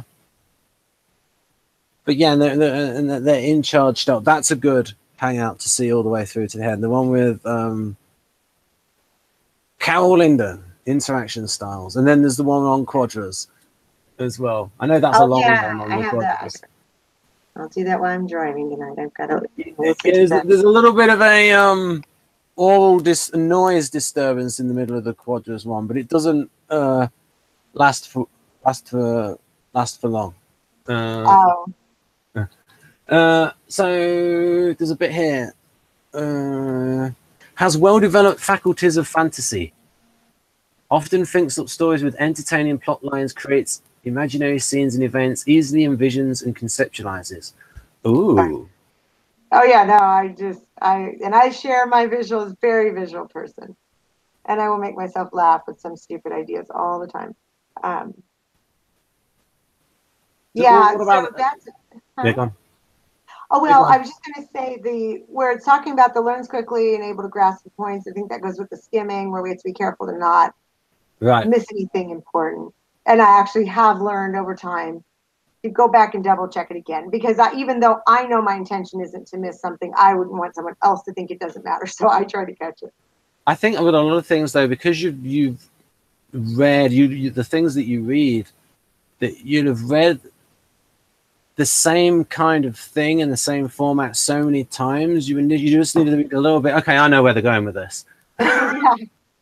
Yeah, yeah. And then people get really wordy sometimes, you know, depending on how thorough and detailed, which, you know, now it's now I'm finally at a place in my life that I can really appreciate the thoroughness. You know, I, if someone's building a bridge, I want it to be that guy, you know, someone who's Yeah, yeah, they the NT to do it properly. right. I don't Yeah. want you to measured twice, cut once, you know. Or, or if anything, actually, I would probably want an SJ to do it really, because they're really like extra safe. Yeah, but you Uh, know, as far as like the engineers, architects, all those guys that are doing all the we want detail. We need detail. We just need it in the right place. Because Not getting the message to me. Because an ENTP might want to try a new wacky design for a bridge, you know. Well, try it out on your own family. Oh my gosh, no kidding. Scary stuff. So, so you, you don't want to. You, so you're not telling me about your fantasy. That's fair enough. Um, I am very visual, and I've said more than once, like Okay. just whenever I'm doing anything, I do get a visual with every single thing. Uh, my idea of interpretive dance when we're explaining things. I mean, we're a little childish and fun in that way, I guess. Um, things, stories with entertaining plot lines. Yeah, most things I'm entertain, literally entertaining myself most of the day. Um, but I don't have trouble. Like if you start to explain something to me, I usually can visualize and run with you, provided you give me enough Yeah. detail what you're thinking. Uh, this one's interesting. Gravitates towards talented and unusual personalities.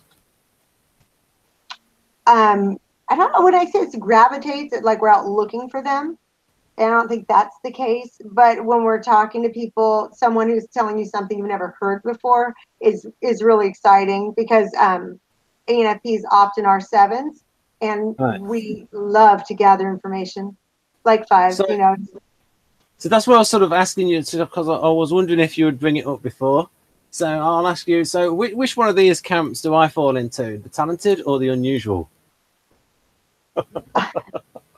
both i think you found it both i love that you're interested in all of these things but you do do it lightly i mean well, i guess you do it more detailed than you show um, so because i could see seven and five in that but but i see five in me now which is so funny if you you know just over time you kind of refine some of Yeah. it so you're not so Yeah. seven Yeah, that's one of the things that's that's an example of looking at the world through a model and maybe there uh, a mistake coming up in that if you completely TI it, where you look at okay, I can see how ESFP can be TI break because they really are, but when you look at ENFP, it's like yeah, but yeah, but they're abstract though, so hmm. they're not going to be as TI break as ESFP, and you sort of have to twist the definition of TI to Mhm. sort of like doesn't like boring procedural bookwork, something like that.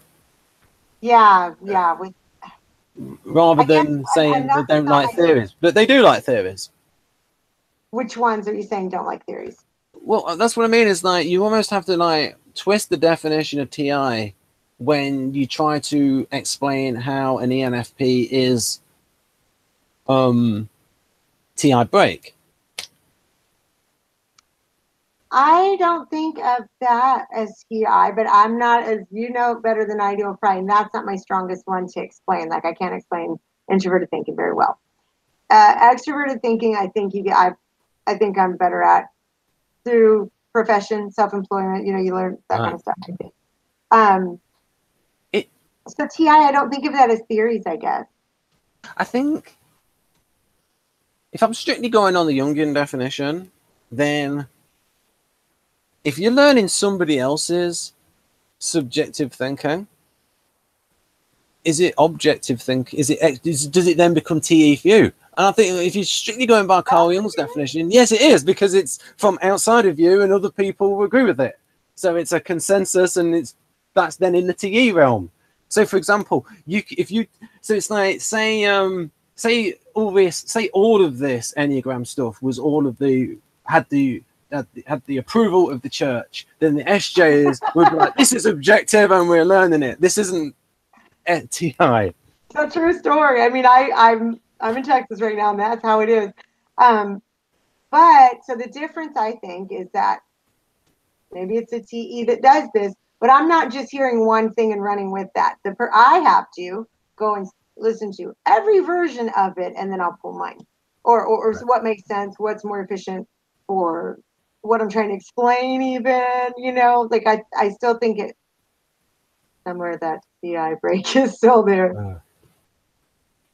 yeah i mean it's it actually explains it a bit it actually explains it quite well in this in the uh, on the next page uh so uh i sort of buried the headline there a little bit but I got it Oh, here we go. There we go, the, the top one. And then, oh yeah, that's where it matches. So what I'll do is once we've looked through that, I'll uh in fact wait a minute, I could is there any bits that What page is that? okay okay that's the first oh yeah, that was at the top of the second page. Okay. Um but this this bit here about um disparate what I should have done is showed people this bit here, the creative FE in the model G. That's the wrong graphic. That is, you know, it looks like the right graphic, but um, I've actually put in a substandard graphic in there because it's not uh, an SVG file.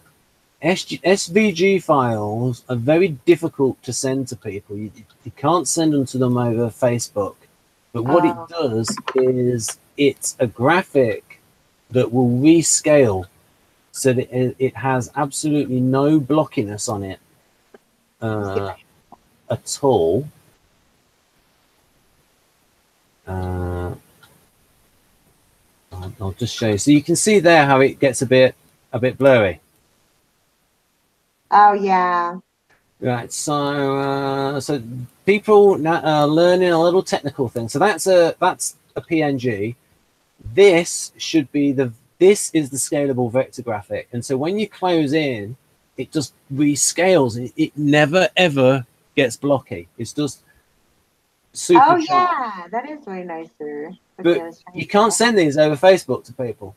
I can only send picture. the uh, the other ones. And so this is a bit that relates to the thing before. So we'll just have a little quick look at this, uh, so folks can uh, see that. And we won't talk about this too because there is a separate video on this. If you see it with Carol Linden, it's about two hours, and we're talking about uh, ENFPs and the creative use of what we what we put in the FE bucket as. So basically, ENFPs can do loads of stuff that involves being uh, changing the mood of other people and reading the mood uh, of other people. Yeah, and it's funny when I was, yeah, I definitely do think we do that. I mean, we use FI, but this is real because well, because our goal is to keep the harmony and to be compassionate. I, I'm pretty sure I know it is for me. Um, so I think we have to be using some FE there, but it's just like a different way of using it. Yep. Mm, what was it? Just So the to- to manage others' feelings and uh, and I'll- agenda. I'll get this is. Oh, yeah, that's okay. I, I was just saying. Yeah. Uh, yeah. Go on then. I'll. Uh, oh, there we go. I think on five, you know, where they're discussing the, you know, how we will compliment, you know, but I don't think it's, I don't think it's to be manipulative. Um, it's to be. I- I may not have told you this before, but if you click on my square, it will then stay. oh, will it? Square. Oh, good. Okay, so just stare down at you and you're like an inch. Okay, there, it's a little bit better, like engaging. Uh, so I'm not staring at the bottom corner. Okay, perfect. Well, I like the way that that describes it because I think that's also where we have to be careful that if we that we're not pushing an agenda that's self-serving. That's where Yeah. Comes in. That what we're doing is trying to be objective, which is true for all types, not just for ENFP, right? Do you, do you notice this bit here that, that this was also in that profile where it says here gets offended after not receiving the emotional feedback and that was in that that profile that we're looking at now Okay, yeah, no, I can. Yeah. Oh, yeah, I can see that. No, we can see so Because they are complementary folks these two profiles they are. They link. And you get extra stuff about advice for the type and then what they're like as a leader and then what they're like as a subordinate. So Yeah. uh, we will go over these in future when we look at the nfs and their uh, creative function. Uh, so we'll go through this and then i'll show people the ne minus a little bit uh, but not too much. So what we got here? People generously i'll just get the previous line knows how to encourage and inspire people, generously gives compliments, enthusiastically describes future activities and prospects, offers multiple solutions for addressing the same problem. Do you do that? Absolutely. And, and so much so that I can lose my audience if I'm not if I'm not careful because I they're like especially SJs because they'll get frustrated. They're like, well, which one should you know? Like they just want a they want to know what they want you want them to do, Right. and you don't want to go through like ten different options. You know. Yeah. Yeah. I Victor referred to that when I kept up, come up with different names for the what we were going to call the functions in English. Like I don't care anymore. Fine. Just pick one. Find uh, finds it unbearable to occupy herself with repetitive work. Repetition generates boredom, which strongly depresses her spirits. Uh, yeah, absolutely. That's so so true, and that's definitely individual. Um, but I also have learned how to find ways to always um, make myself happy, upbeat, you know, and doing something to motivate myself. So I think that's also where we I explore in my head or wonder about motivations of other people. So um, Yeah. keeps you occupied. Yeah, so folks, we'll go through this in a different video, and we've gone through this with Carol Linden, and we'll we'll probably go through this with Alisha in future when we do the answer. But this is just so you can see the commonalities between uh, the two uh, profiles that we're looking at, and then this is just a little bit here, and I'll pause the screen so you can see how Victor is defined. Uh, NE minus, the kind of the intuition of alternatives that ENFP uses, and also uh, INTP as well, TINX. So, um, so what we got here? Uh, oh, here's a little bit of interesting stuff. I thought this was very interesting. This this next uh, uh, paragraph. Do you want to read through this and, until you get to a point that you'd like to comment on this that second oh, paragraph? Okay. Oh yeah, we did this. Um, IEE, like no other, is discerning in the logic of human relations. Especially acutely, he sees the causes and motivations that create complications and conflicts in intimate relationships and friendship. Gosh, that is so true, and that I can't not do. Um, very hard. so, if you see patterns, yeah, like in you know around you like if i don't know if you've ever seen a situation where somebody somehow magically finds a partner that is just like the last partner they had and the partner before that this pattern. Oh it's so weird. Uh, so that's hard. That's a real struggle um, or someone who might be taking advantage of someone or something like that yeah that, Oh, is that it right? Say that's my type, and then you might think, yes, and your type's a dick. yeah so i do which was something we might joke about but with your good friends and of course you're only going to use that sort of thing or try not to pay attention. If you can help yourself, you can usually get the point across. And then they know you're not trying to say anything except for out of love or care. You know, like I want the same thing. I'm fine with feedback. But even having someone say, oh, well, you know, you should never type someone, I wouldn't be offended by that. So I don't take that kind of feedback bad or get offended. So I think that also is type specific. Um, it's easier for, I say her, I guess, instead of him. It is easier for her, however, to maintain the present relations that are running smoothly than to mend old breakups. Uh, I wonder if they mean in other people. This is also where any can go bad because you can never really chop people up.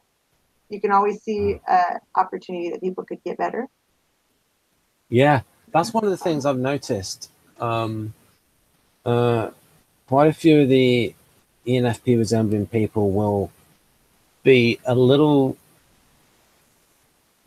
in two minds about typology, where they don't as much want to put people in boxes because it's that they'll say, yes, but people develop and change. And I suppose to them, you have to say, okay, these are how much somebody resembles a particular pattern. Mm. And rather than being fitted into a static box. And even if though that is just mentally, it's like, especially if they're an E- E7 resembler, it's Mhm. like, no, I don't want to be confined even to an imaginary box. And then I then you could come in and say, well, that's so ENFP. Tell me that.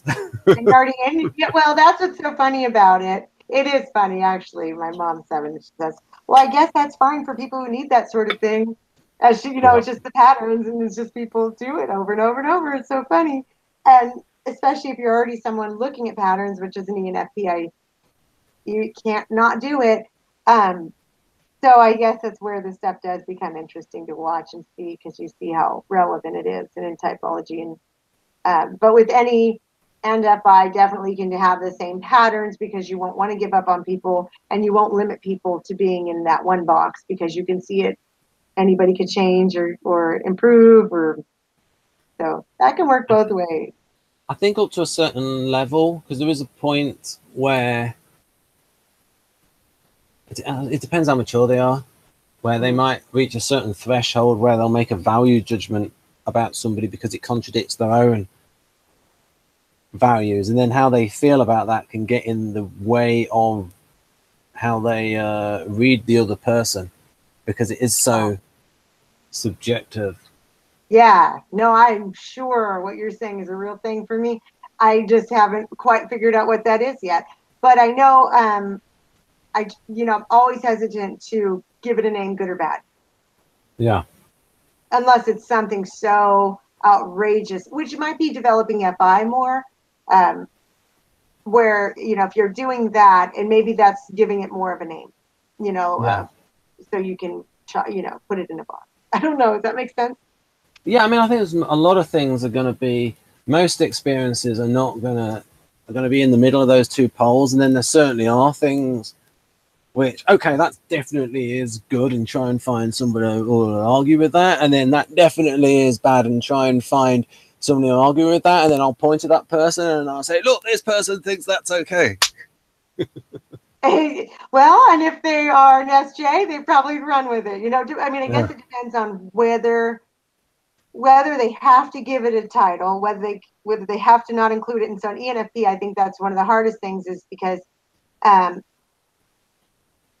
I don't necessarily have to do that. And I and like it says on here in other places, we can be pretty independent, um, self-sustaining, all those things. And so because you're not relying on other people, I think it does. I think it works both ways. You know that that we can also make that um, work for us and work against us.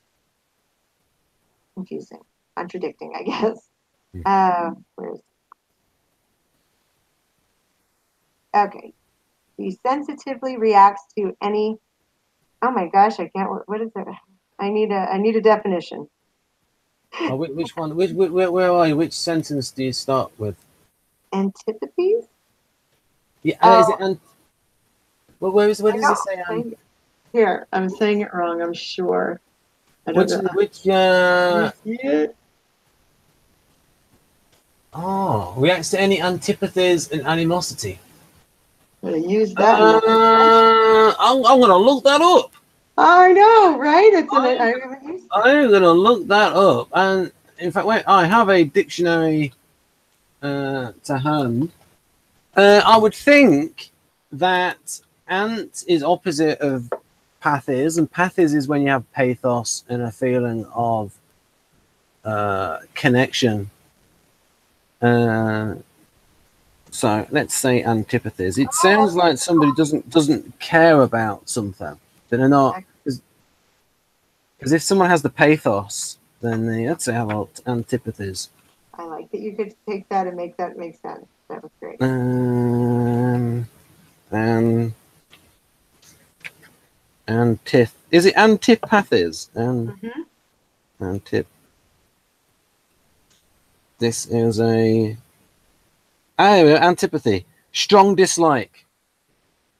That's what it's put. Yeah, okay. Well, that kind of describes what I was just saying. Um, in that way, we can be very gray. There's not a lot of black and white with that. So yeah, when someone else is so um dualistic, you know, and they're doing that, um, I think that does it doesn't always go over well. And animosity, yeah, I I don't love that. that's that's true. Well, because I don't want to spend time with it. So I don't want to think like it and I don't really want to talk about it too much. So for me, I think if I'm not liking it, I'm not there, you know?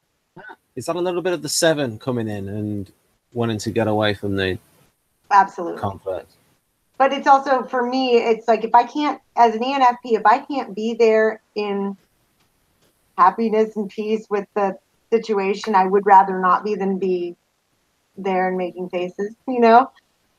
Yeah, and it's almost as if, well, I have other options of people I could interact with. but it, but I don't think of it in, from that angle. I truly am thinking of it like if I can't be nice to the person or something, Mm. like if I, if I dislike something about it and I can't be nice, I don't really harbor bad feelings, but I won't be around them because I know if I'm going to be around them, I might be, I wouldn't be happy. That's interesting. That might be. That's Marrero about that. That might be one of these left versus right spinning things. Uh, that is a very TI dichotomy. So it's like it, it's based on something that is like mostly true, but when you base something that's mostly true on something else which is mostly true, and then something else which is mostly true, then the, the level of um, of mostly true might go down a little bit when you start building these different layers of mostly true on top of it. Um, Yeah. So we we could do a hangout in future with Maria, uh, with, with all the people joining, where we actually go through each of the 16 types and say, okay, how exactly is this type a result type, and how exactly is this type a process type? So Yeah. a type like say ENTP, like how exactly is an ENTP a process type? And then Mhm. you would have to sort of like, and I, and I would look at well, okay, well if I look at the way Keirsey describes the role variant that best suits the ENTP's predisposition, and that would be to being an inventor. Mhm. Uh, Keirsey might say something like, "Well, there's a long process between the idea, the design, and then deve- developing and perfecting uh, the prototype. And so there's going to be a process for that. So maybe that would be an example of them being uh, process oriented. Yeah, but that's also where different skill sets come in and Yeah. strengths because, you know, the person who came up with the idea is always the one completing the list. Yeah, that's the thing. Keirsey thinks that, and what he's almost writing about it as a career that corresponds to the INTP's skills because the INTP isn't good at the implementation, but they are good at mm-hmm. the design. And so, I, sup- I suppose the INTP would be is more of a result type rather than a process type because it's like, well, I'm designing this new thing to get to this, and then it's like, although a lot of times there's overlaps where the ENTP will also be designing things, and then sometimes when the INTP is also developing a prototype. So that can show how, in terms of their intelligent actions, if not their psychology, that they can be very they can op, op, uh, occupy very similar niches in an NT way. INTP Yeah. and ENTP. Yeah, no, I can definitely see that. And the strengths where, um, I mean, gosh, that's so funny. Like that example we were just talking about. I mean, but okay, so what about the person who's there with the person they disagree with, and they're not going to be nice to them, and they're going to be sitting there and judging them the whole time? To me, the presence and being there and judgment of them isn't any better than choosing to not be. It might be I would seven. like- but I would what I would do with them if I was around that such person is I would judge them being judgy, and it was like right? I have a very low threshold for like people. Oh, this this person is not a nice person. Boom, lost interest. Right, Try and that, get that's five seven. I think one five sevens. I think there's like I know in the or fours. I don't know. There's so many triangles with this, but I know we do the seven and we we do the five and we do the one. Yeah, with lines of connection. Yeah, Yeah, the lines of connection. And I think um, it was funny in the workshop last time. I mean, you could definitely see that tendency in all to not. We're trying, you know, everyone's trying to do the right thing, but if you know, just a different way of going about it. So it's not, you know, like I don't ex- like exploitation of others. I think ENFPs are against that in general. We're trying to be, you know. so yeah. I was just thinking that each each each type has a unique has unique lines of connection. So it's only the seven that's connected to one and five. hmm Yeah, but there is a triangle with one, four, seven also, and it actually was kind of funny because Yeah. in the workshop I really did just the we kept getting in one, four, seven um, groups, and Right. it was it was kind of funny because it was kind of an inside out version. Oh, so what is what is your tri type? Are you one four I seven? don't know yet. Oh no, we were Oh. in we were in um just group projects. They were having people, you know, uh, group off, Right. and it was just kind of funny. But yeah, I don't know mine yet. I'd love to know. what I would think is if you go too much off behavior, you might get pegged as a three fix Oh yeah. because you, but, but, it, but that might not necessarily be your preference. It might just have been a thing that you've had to get good at. Yeah, absolutely. That's exactly the truth. But I'm, I tested seven, eight, or seven, two, eight in my in the progressive test, and then also seven, nine, four. So, but the more recent one was seven, eight, two. That would be a good thing to look at. Is in order to test. I mean, the strength of role function can be tested by looking at all the all the EPs and try and look at their tri type and see how frequently eight pops up. in Mhm. their uh, tri type or wing. Because a lot Yeah. of EPs are identify as seven. Yeah, but mine was, was so weird. It was seven wing eight, eight wing seven, two wing three, SXSO, which is a lot of connections to eight. Does that you follow me? Because it was like seven, Yeah, yeah, eight, yeah, yeah, yeah, yeah. two, three, and SX. That's pretty I- eight-ish. I think Katherine's version of the eight, though, is very toned down compared to Naranjo's version of the eight, where his his eight is so eight that only an ESTP can be his kind of eight. Because he's got impulsiveness in there, he's got sensory motor dominance, Yeah. And so when you when you put and rebelliousness in there, and so I'm thinking, well, ESTJ is not so rebellious and impulsive. That mm-hmm. doesn't really fit. But the way when you look at you've probably done you've probably done Catherine's Enneacards cards test. When you look at her cards for the eight, there's nothing in there where it's like what this would exclude ESTJ or Mhm. No, I ENTJ. So it's it's basically it's basically towards uh, uh, to summarize her version of the eight, it would be someone who's in charge and someone who's protective. hmm And considers himself strong. Yeah. Um, which I know she's refined that over the years, but I already knew too much when I got to it. So, Um, I, I heard this great thing. Uh, Peter Cullen, who does the voice of Optimus Prime, and he told his brother, and his brother was in the Vietnam War, and he said, "He's where are you going?" I said, "I'm going to do an audition to play a truck." And he says, and he said, really? And he says, and he says it's a hero truck. And he said, okay, if you're gonna play him, if you're gonna, and, and so his brother was in the Vietnam War. He got uh, medals, and uh, Peter Cullen really looked up to his older brother, and uh, they were living together at the time. And he said, okay, if you're gonna make him a hero, make him a real hero. And then he told him what he thought a real hero was.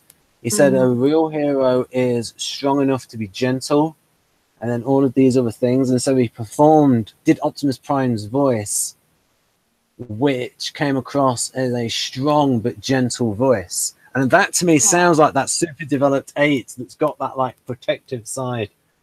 Yeah, for sure. Well, my dad was an eight. I'm sure of it. Uh, he's been gone a long time, but uh, they're not always, you know, in the highest levels.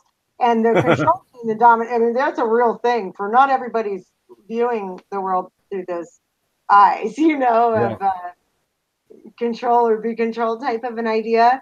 Um, so it's funny because there's times I was like, well, maybe I'm what, eight and seven. And I'm like, no, I mean, my goal is not to, uh, you know, go around and Push demand order.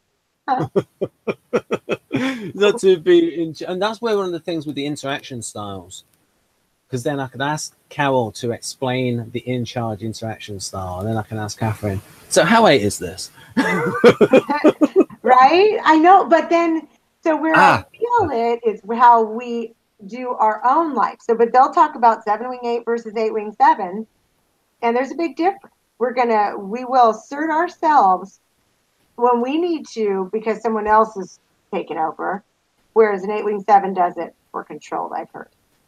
so what i could ask Katherine is when uh, carol gives her definition of the because i've got that written in my diary for friday is um, she gives a proper explanation of the in charge interaction style i can then ask Katherine okay are there any eights that don't have that interaction style? Are there any Yeah. eights that are not in charge? Or is that impossible? I mean is it is it fundamental to the eight that they have to be in charge or I want really to be in charge? Yeah, it's got to be fundamental to it But I think that really does, like you said, with an ESCP, it just works. It's it's where their you know functions kind of go. And she's an E ENFP eight, and she's not. Um, I think, I think she's also said. I mean, sometimes she said ENFP, and then sometimes she said, in a different conversation, I think she said that she gets very close between. I think sometimes she said very close between ENTP and ENFP, and then sometimes between ESTP and ENTP. Uh, well, I I couldn't feel- see an N or an S doing all the tri type stuff, though. Could you? Well, but she started off like so empirical with Oh, okay. um uh. I, I, I, said before, like if someone isn't a clear type, there's not much point typing them because if they're not that clearly that type, then you know it's not much point. yeah, yeah, for but sure.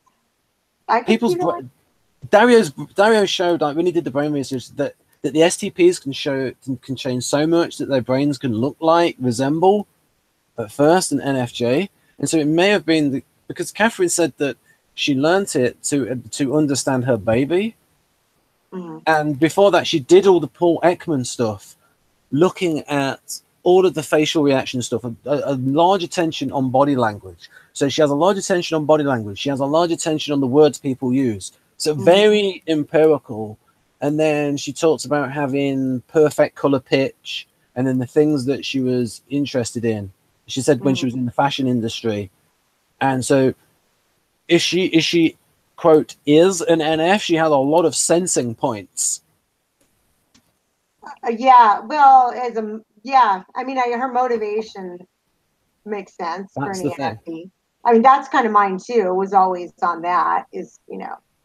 It's sure- and I think some people can just develop so much that they fall outside of these models and are just too darn hard. Maybe should we could offer we should whip around and start a Kickstarter to have uh uh to get a Kickstarter to pay for Katherine to be EEG'd by Dario to actually find out like what the natural preference is and then versus the effect of the various careers she's had have had on her brain. Right? I know. Do you think you, you can uh, have house parties? Maybe he'll show up with his machine. Yeah, but they're in the same. I think they're in the same city though. Oh, how because they're both. cool. I think I. I know that she's in California. I know Dario's in Los Angeles. So you know, they, we could make this happen. Uh, you know, I I think it's fascinating. I love that he does those because it shows and supports what we're talking about, especially Yeah. when 75%, or at least that's what I've heard, are the censors. That I understand that it's like, why are we spending all this time? But it's just another way to look at it, the same issue. I think Farah is a good example of uh, somebody shows who shows the strengths and limitations of it. So that's a hangout I suggest everybody watches. It's the one with Victor that I think is the tw- is the twentieth, and What's it's the that? one where I um, turned down the opportunity to blow the um, to blow the blowout to mark the anniversary because I thought that that was a little bit too obvious. But, and I sort of played with not doing it and being drawn towards doing the blow. Um, Blow darts. What bit was that? the other part of it is that it didn't work very well. Actual blowout. So if it had worked well, I would have gone.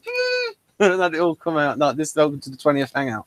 Oh Um, gosh, I have to watch it. That's um, so we went. Th- it was three hours long. So you got three hours with Victor, and we're going through e- Farah's EEG data, all of her results of and it can be looked at by different typologies because it's n- it you you don't have to buy so a socionics person person can look at it and not buy into Dario's definitions of the functions because it's like this was the brain activity when this particular task was performed and then any school of socionics can look at it and say okay that particular task lines up with how we see this particular function Hmm, okay.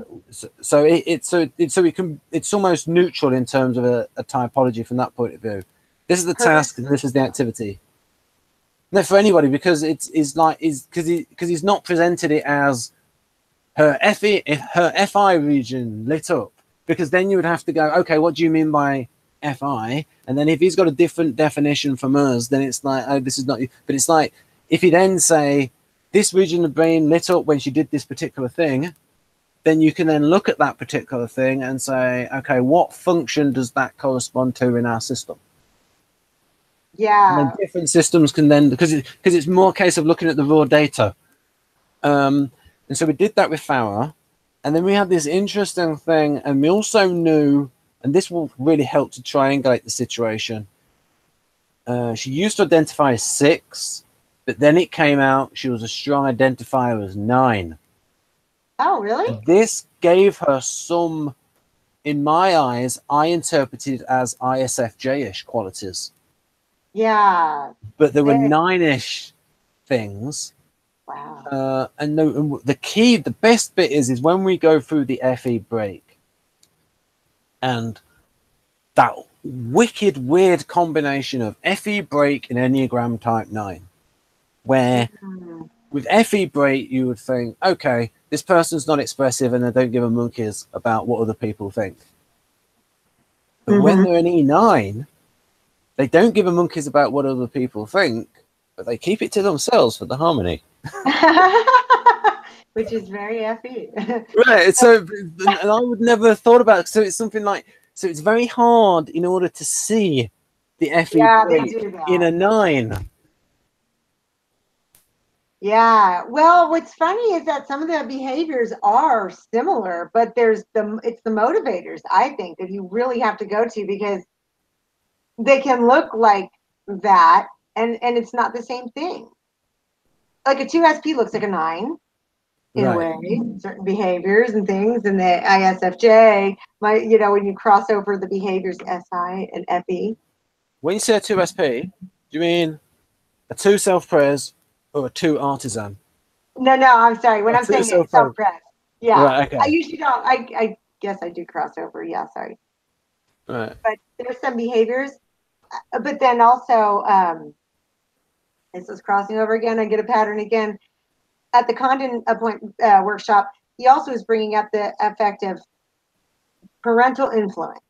So Yeah. there's so many factors that cross into people's um, experiences. Uh, one person, I mean, they couldn't even get a type. She can't even, after years of this. which sounded Fully nice. rounded individual. Very nice. well, it was funny because you see the, I could definitely tell reserved, uh, but it was also off parental influence, and you could Yeah. just you do what her mother would have been like. You could just tell by her uh, behaviors.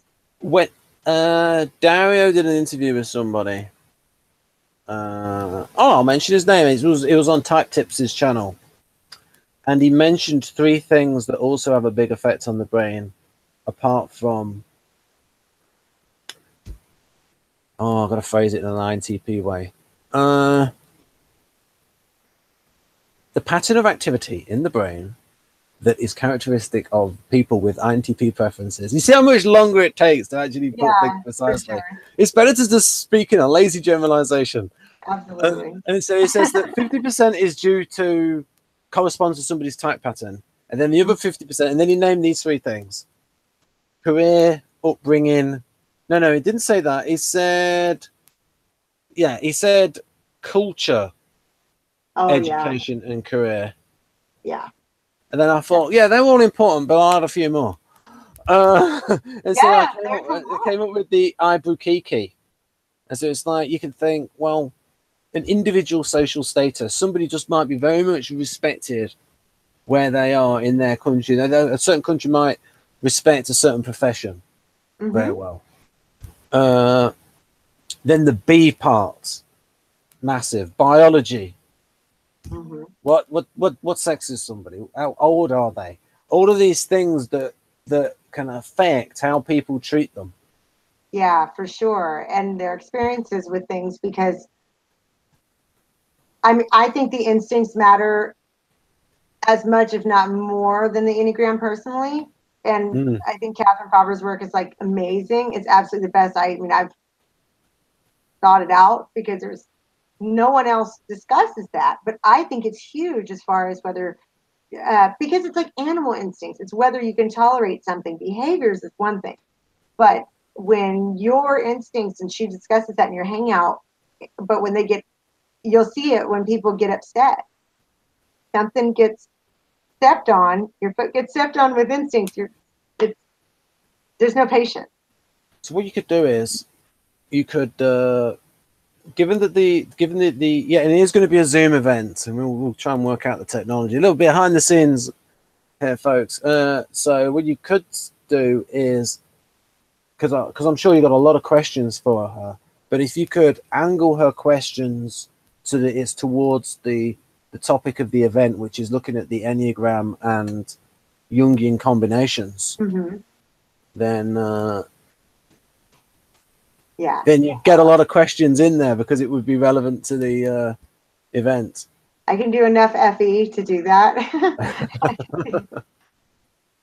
Rather than um yeah because it would be relevant to the combination and what i'm going to do is i'm going to because I, I don't want to blow the minds of people who are not into the jungian stuff and who are really into enneagram but i think that they can take the four temperaments also because they're based around motivation and also Yeah. Katherine is interested in words and actions yeah, I just got both her books from her website and I haven't got to read them. I was so sad I didn't bring my charger on the airplane. I bought it right before I walked on and I did. is, is one of her books about words Uh, I haven't got, I was trying to find the instinct things, but I know she discusses it and I'm hoping she covers it. I got her, uh, um, i mean uh, her subtypes book and the Enneastyle one. Both of them. Right. Okay. So you got the the instinctual subtypes, and did you get a tri-type book? Actually, I let me fix that. I got Enneastyle and I got the tri-type. I wanted the reason I forgot is because I couldn't read it, which is why I bought it right before I went on the airplane. That's Right. so I wanted what I want was instincts, and what I bought was the other two. So that's any in action. Right. So, so if, you, if if you continue, the, the reason why I think it's better for you to read it out is that you know when you want to stop and say something. What do you mean? Oh, read out the oh, oh, yeah, oh, because sure, because I'm o- o- sorry. otherwise I have to like read a bit out and then stop and say, "Do you want to comment on this?" No, Ben. Yeah. Whereas if you can it. just stop and comment whenever you like. Yeah, where were we? Um, Oh, okay. Um, Oh, did you get to that bit underlining uh, pink? We'll talk to anyone if the person's interesting to her. Yeah. Oh no, I'll we'll do that for sure. I like it. I love just. They talk to me too, though. Actually, it's funny. my son's noticed that I could be just in line somewhere, and apparently can be approachable. Um, charming and sociable will build relations with anyone if this person is interesting to him, and that's yeah, definitely. Um, I mean, I shouldn't say build relations, but I could visit at length with someone. Um, I think we're kind of funny about who we we can be very engaging without being real close. Maybe Ah, yeah. And I think people can miss. I think what people frequently misinterpret with ENFP resemblers is that they mistake their general enthusiasm with enthusiasm for them. Yeah, that that can happen. Which it is still enthusiasm for them. It's just not necessarily intimate always, Yeah. or even having mentally gone there, or um, yeah. I mean, it's just a really Is- funny thing. Uh, you What, know. what it what it might be is when they encounter somebody usually is enthusiastic as an ENFP, it's usually somebody who's got the hots for them because I Yeah. they're not showing that much off, and so that can be mistaken for that. And it says, no, no, no, I'm just an ENFP. yeah, which it's so it's so funny because it makes absolute perfect sense, even to me.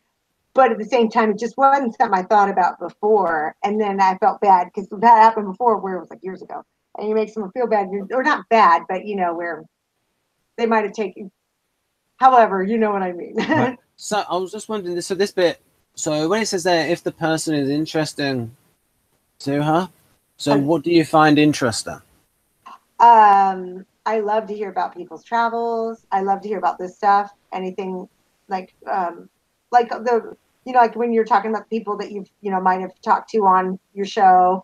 Uh, I love this stuff because um, some of these people like Dario, you know, who studied all this. It's just it's fun to talk about. So people who have like any shared interests, love that.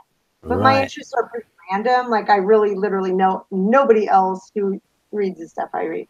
Right. So you can see there. I mean, so that's one of those examples of when when we looked at the rapport thing before. Mhm. So the shared interest with somebody that will affect how you feel about the person when just just with the shared interest. Yeah, or lack of, like in a in an Yeah. intimate relationship where they can't or won't even try to get interested in the things that you're interested in, and that's a very seven thing. But you want to be able to experience things with somebody, and um, if they're not interested, it's hard to have that. You know, it doesn't have to be extreme and to the same level, you know, but just some effort. I Right. suppose when the NLP people who get really manipulative with it, but the people who are able to be manipulative with it are probably able to be manipulative anyway. And that is, Yeah. they will pick up with what the person values and then they will feed those values uh, back to them. But I would think the more intelligent ENFP is because they're so curious, is they would then ask about that, follow up to see whether they're just doing doing the old flim flam. Yeah, you can only BS your way through so much. You Yeah. know, that and there's vibes and there's things that come with it. So yeah, I think you're right that there's definitely a way, and I've seen it done. I've done to me where I could tell I was like, wait a minute, no, it's not there. That interest isn't there the same way, or the manipulation. Like for an as an ENFP, it's so funny. Like there, there's something so inherently wrong in my eyes of manipulating someone that. uh yeah, I couldn't, I can't. That that falls in the the black and white where I don't have too many. But I think it's because we could do it and we could do it well if we wanted to, and we don't think it's okay to do. At least I don't. That would be an interesting stage play to do. Like sort of like the, master manipulator ESTP uh trying to chat up the ENFP who's like and it's like a battle of of wills. And it's like you could just be like one scene at a bar, like this like battle between them. Yeah, yeah, for sure. No, I had a relationship I think was well, I thought for the longest time it was ESTP. I still wasn't hundred percent sure, but it matched a lot of the different things going on for years and years and years, and they like to win. They like to overcome things, I guess. Yeah. Yeah, and that's not the easiest thing because the NFPs are a little bit more a little more fluid, you know? Just touch. right? Yeah, it's not that's super concrete. I mean, I, I don't know. I think um, ah, I don't know. I think it's a funny thing, but I just like the idea that everyone's being nice. And I know it's a little different for males and for females on that. Okay, on this part, perceptive of which distance he needs to keep with which individual in social interaction, although he doesn't always hold it, or she, I should say. Um, actually, I would say that sometimes I'm, I've been off on that, but not very often. What do you think was the cause of that? Um, trust, Right. because because it is such a. Sometimes we can be naive Right. in our. It's an idealism in the sense that we think everyone is going for the same thing that we are. Right. That's not cool, you know. Uh, so that that that uh, you know, but I still have to go every day into things and assume the best. Right. I- think that's part of the personality structure, maybe. Um, IEE knows what needs to be done to maintain a favorable psychological atmosphere within a group. Yes, for sure. I mean, there's definitely um, an awareness, even if you don't want it. And, but that's the kind of where I think we look FE. There's bits in this which will sound like uh, ethics of relations, and then there's bits that can sound like Western FE, and then it's like well, you have to sort of like tease it apart. Okay. Uh, and but generally, I'm looking at this and I'm thinking, yeah, this does fit ethics, ethics of relations, uh, because that's pretty much what he's doing. I mean, because I because I know where it's coming from, because it's like it's derived from the functions, and but it is, but it, so it's a nice way of presenting it though, and it enables you to sort of go out more of the confines of uh, an eight paragraph profile, which is what the Model G profiles are.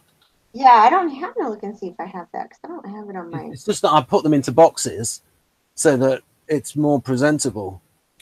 Oh, on there. It's not. Is it on the page you sent me? Uh, what the ENFP? No. Oh, it's the ethics of relations description, like the way they. Oh right. Oh yeah. You want to the way Victor describes it is it's a bit. It's not like this, but I would describe it as just that rapport stuff. I think that's the mechanism of it is is having that connection. Uh, Yeah. just- and it could be values, it could be typology, it could be any kind of shared interest or background or yeah. different things in the material of it. Yeah. Well, and it's so. Uh, it's funny because if I look at it and I think, well, what's what's the what's my motive? You know, which is kind of what Enneagram takes you to do is to start to kind of stand back and pay attention to your own behaviors and what are you doing it for? You know, and it usually is just genuine interest in the other person um, to know. You know, or if they look upset, and so some of it's just kind of vibing with how something's going, if they seem like they're uncomfortable, things like that, or whatever. I don't really see that too often, but luckily. Um, but there's usually not an intention behind it that's different. So, you know, I think the FE, the way that we use that is just to make sure everyone's happy enough and that, you know, Yeah. I don't think there's I too think much. I think sometimes I can see it as a tool. Mhm. And then with with someone I know who also resembles uh, ENFP, when they are a two as well, and you've got that extra focus on other people, Mhm. or say if they were an ENFP resembler and a six resembler, they would really want to fit in, and then they Mhm. might have a little bit of a problem between the you know yeah. authenticity and acceptance. Yeah. I mean, I think even in that situation, yeah, no, I, I guess I could see that for, I don't really know anyone that I can think offhand. I mean, there's so many things you could bring up, and any I would think would take them into another subject, so they don't have to go on the things that are uncomfortable or that would divide them. It might also be that somebody who gets typed as E ENFP six might just be. It then becomes a question as to, is like, well, somebody who might show six-ish behavior because of things that have happened to them. Yeah, for sure. And functions and how you handle it. Yeah, so because we have Yeah. to like keep a distance that it's just models, very good models, but we have Yeah. to, Well, so I would because I okay, so head types. So you got five, six, and sevens are on there in their heads, yeah, and there's so so there's always that it's fear based, even if it's shaped differently. Um, and so you'll see that, but there's those patterns that you will see that divide that six and seven. In in my opinion, um, it's that hierarchy belief.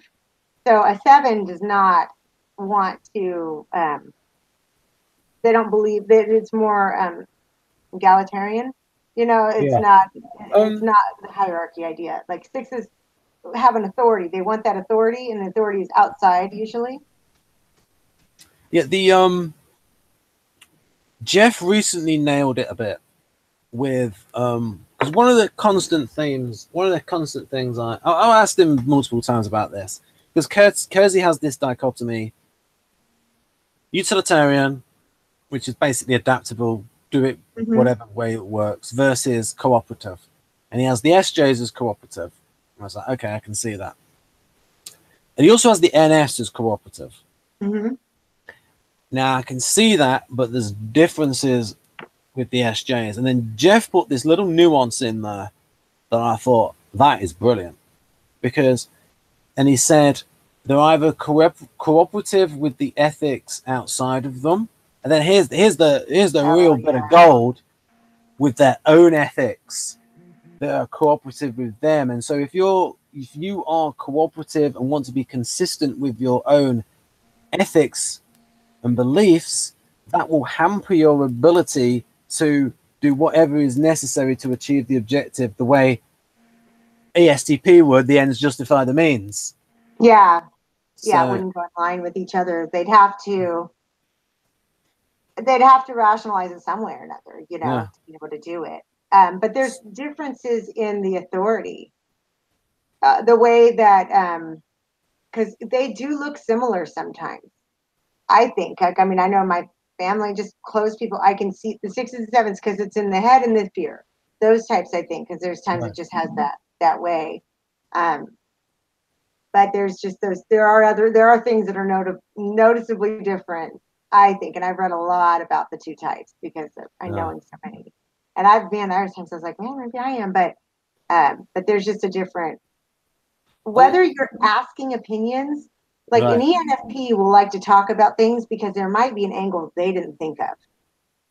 Whereas a six will ask opinions for the, you know, authority to put the authority outside of themselves. Yeah, because they're insecure about how they should do do things. And you get a lot of this with Laura in about the last 20 minutes with the interaction styles hangout as to and Carol was trying to was teasing apart, okay, is this coming from an SJ pattern or a six pattern? And the key thing that Laura told me is that when she's on her own and when she's not doing it in order to fit in, she'll do it in a utilitarian way. She'll do it in the way that she thinks is best rather than the by the book way. Wow. Oh, yeah. They, but they go back and forth. I mean, the ones that I know, one of my brothers is, and gosh, I see him. I remember seeing him do it. It's like question, question, question, question, question, and then do something totally different out of just like can't sit around questioning it anymore, you know? Whereas sevens, like we'll play in our heads about all the different ideas, but it's just for a different outcome. It's it's not it's not the same way. Um, so that so it's just kind of a funny observation when I've because I, I read every single thing I could on it out of curiosity on the differences. Yeah, but I do think that oh, when you got that when they got the seven and the the NE dom, then uh, yeah, there's going to be a lot of possibilities and entertaining possibilities because it's fun. Yeah, yeah. But if you get stuck in a loop, like I've experienced that before, that FISI loop, Yeah. and if it's not good, that can stay. It kind of stuck for a while till I got So- myself out of it. So is that loop for you? In terms of a practical example of that, is this is that just like churning over the same old feelings and not yeah, it's well, it's chur- it's churning over the experiences, past experiences, and how you feel about them. Past experience and how you feel about them. So that's how you get stuck Right. in a rut, And F, an ENFP rut. That's what it was, and it was that was what I love about the um, functions. It's you know when you're like, oh well, shoot. Once you know what that is, where it almost looks like a depression. What is a depression for someone because you're stuck, and then if you know, like, okay, uh, readjust how you're looking at something or adjust something else, because in you know real life situations you can't always put yourself somewhere else even if you want to. This thing that's something that's that could be made relevant if you if you if you can see if it was one of these. They have this thing called uh, the blame frame, and Mm. whether you're problem focused or outcome focused. And Mhm. the problem is, if you're problem focused, you then might start asking questions about why, and why might lead to who's to blame for this. And it's almost like you have a tendency to go back before you go forward when you Mhm. look at the problem because if you can't reconcile the problem then you're just going to keep going back and back and back and Yeah. back to try to understand it whereas if you concentrate on the outcome it's like well part of that process doesn't really involve looking for blame or looking for why it's concentrating the thought process on how and i realize it's a lot easier for people to do it with stp preferences than say nfp preferences because if you're feeling what you feel and you, you got to try and ignore how you feel Mhm. that's tricky and they might think no i've got to work through this feeling Yeah, for sure. And um and then also like as a seven, I think it's easier to do something that only affects you. Like you can make changes that are suiting you, but when if it's affecting other people or you know that that's when things get complicated, I think, personally for what choices people make and as they get through and careers and kids or whatever decisions people have to make. Um, Also, when I mentioned cooperative versus utilitarian, it's within the realm of tool usage. So, how somebody goes about uh, their particular task, uh, a particular social role, um, and something that that Jeff has said multiple times that I've only just now to get through my thick skull, and that is whether it's their first preference to be cooperative or utilitarian. Because ah, the ESTJ, their first preference would be to be cooperative. And it's Uh-huh. probably less of a leap for them than it is for ISTJ. Because they, but, but, but if you think of like an Enneagram 8 ESTJ, it doesn't take them that much to then like leap over to the utilitarian side and do it their way. But there's still going to be the preference there to do it the the way that it should be done. Yeah, yeah, where we would go about that pretty differently, I think. I mean, we're cooperative. I mean, I can speak for myself, I guess. I, I am cooperative, but to a point. Yeah. It will, I mean, I know, um, like if you read on the social seven, that they'll look like a two, um, you know, which Yeah. uh, Tom Condon talks about that you have all of it in you. So all the instincts, of course, some ride higher, you know, but um, so that one, you you know you're doing for others, you know you're giving, and you're doing it free will. Um, so it will look like a two. Oh, how did I get lost on my thoughts? Jeez. Oh my okay. goodness. What were we talking about? Well, when you were saying that, when you were saying social, when you were saying that uh, a social seven can look like a two, and then you Yeah. also resemble an ENFP, that made me think of this. Well, if you look at the, those functions in that social mission block of ENFP, you've got NE Oh, and FE. yeah, yeah, yeah. You've got the, so if you, you're you're the kind of ENFP with extra FE, uh-huh. then you're going to look a little bit like the social instincts, I reckon. Yeah, well, we were saying cooperative. Oh, yeah, that's what we were talking about, being cooperative or not.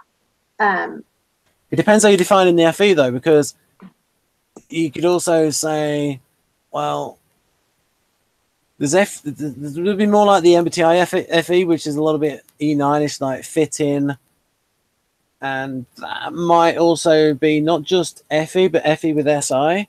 hmm because then you, you you're moving away from the conflict. So Yeah. it gets a little, how you slice and dice up these emotions. It's easier to slice and dice up logic than it is emotions. Yeah, well, and an ENFP, our, I mean, I, I should always speak for myself, but my motivation is not just to like make it go. Mine is to fix. it. I, my energy, like I'm not just passive in that way. Like, but when you go off of Enneagram and you want to go ahead and like, at first when I heard fear of pain, I'm thinking, I'm not scared of pain. What's not worried about that? No, it's emotional pain. So if you're trying to help other people so that they're not going to experience emotional pain also. So that FE, I think that's how, for me, that's how it kicks in is because it's trying to help them. But that's when it's also a little less, Right. a little more directive almost because you're active, you're throwing verbs out. You know, you're trying to be suggestive. Yeah. Um, maybe like the body language would be like directive, even though the words might be uh, informing. is just sort of going to come Yeah. through. I'm like, solve this It's problem. like so. It's like so. It's like, have you tried it like this? yeah, it's so funny. And then when I heard that described, I thought, oh my gosh, that is funny. I mean, even that, even that, where you think you're being helpful and you're being kind, you still have a motivation. You don't want to hear about the pain, you know? There's a, a thing here where um oh I got this right. Uh yeah, um there's something about there's something that matches here with uh the seven with a wing eight or or a seven in the eight side with the E ENFP. And Mhm. That is the social adaptation block. And the type that is in that block for E ENFP is Oh, SETE, ESTP. Ah, So that's a little mode where it, I think Model G would say when the ENFP can't get what they want, they sort of turn into a mini ESTP how funny. in, in order to achieve a particular objective. Our alter ego kicks in. Ah. That's funny. I could see it. I could see it. Well, there's times that I can be so incredibly present. And there's times you're a complete space cadet, you know. So it just depends on on on need, and I guess that's where the fact of actually being an extrovert comes out. You know.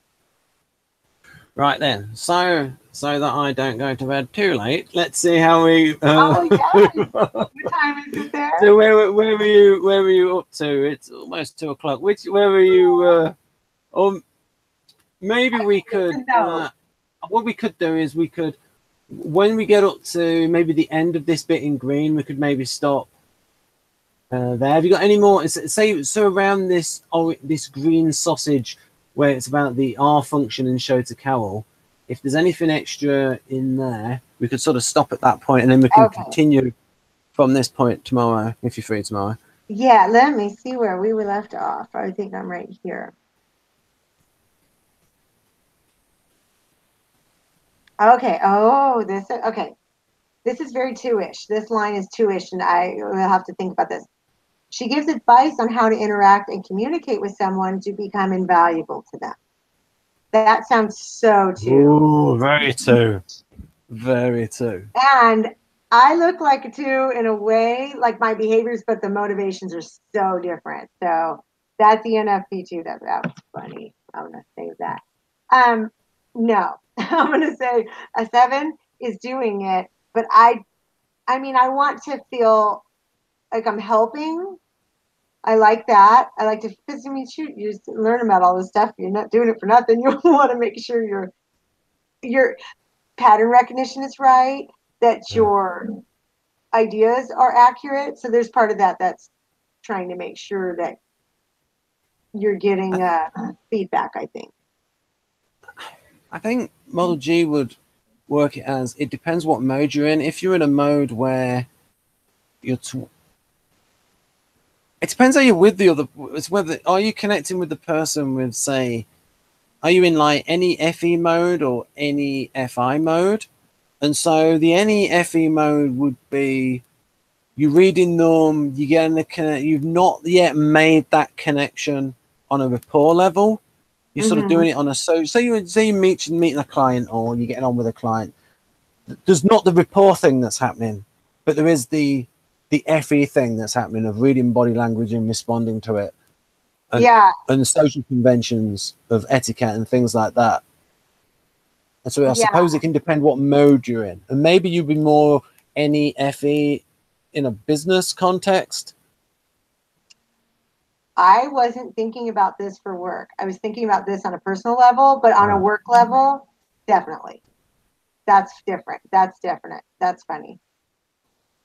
When I'm doing it, well, and I'm not really advice on how to interact, but when I'm engaging with someone work related, I do I do want to feel like I know what I'm talking about and that I'm useful. But that's also very important to my job. Right, and that links up with Keirsey would say, I mean, it's quite. I mean, one of the things says it, and it's very close. Like we'll go, we'll go over it later later on, where it talks about because it does mention a thing, and I'll put I'll put a big mark. It said Keirsey, look, he put champions of cause, like it matches up because this is this is one of those types. I mean, you've looked at the Keirsey NFP, you've looked Mhm. at this one. Is it pretty much describing the same kind of person? Oh, oh yeah. I mean, they both make great points, but there you could, I would could put it together. It, it, it's so similar. Um, know? and I do like Keirsey's. You know, it's just so. This is good too. I could read them both and make them. The irony is, is that Keirsey, is seen as a behaviorist, in his ENFP profile, he really gets inside the characters, like that. The, one of the central issues they can have between acceptance and authenticity. Yeah. Well, that I mean that that's where that's where we can get you can lose us sometimes because as much as we we can help, like it's it's like I said on the closeness level, like I always consider it like a cookie where I'm on one side, and you know the world's the other side and the cream's in the middle. You know, it's like you're not going to let it cross over what I don't agree with. Like if it's something I feel is inherently wrong, like um, manipulation or you know taking advantage of someone, then it's it's gonna stop. But we want to help and we want to engage with people. So that on authenticity does. I just I literally can't do it if I don't agree with it. Like you couldn't get me to. So what I've done, folks, I have put a little mark there. Uh, other side, Ben. I put a little mark showing where we'll start again next time. It will probably be tomorrow if Alisha is free. it should be good.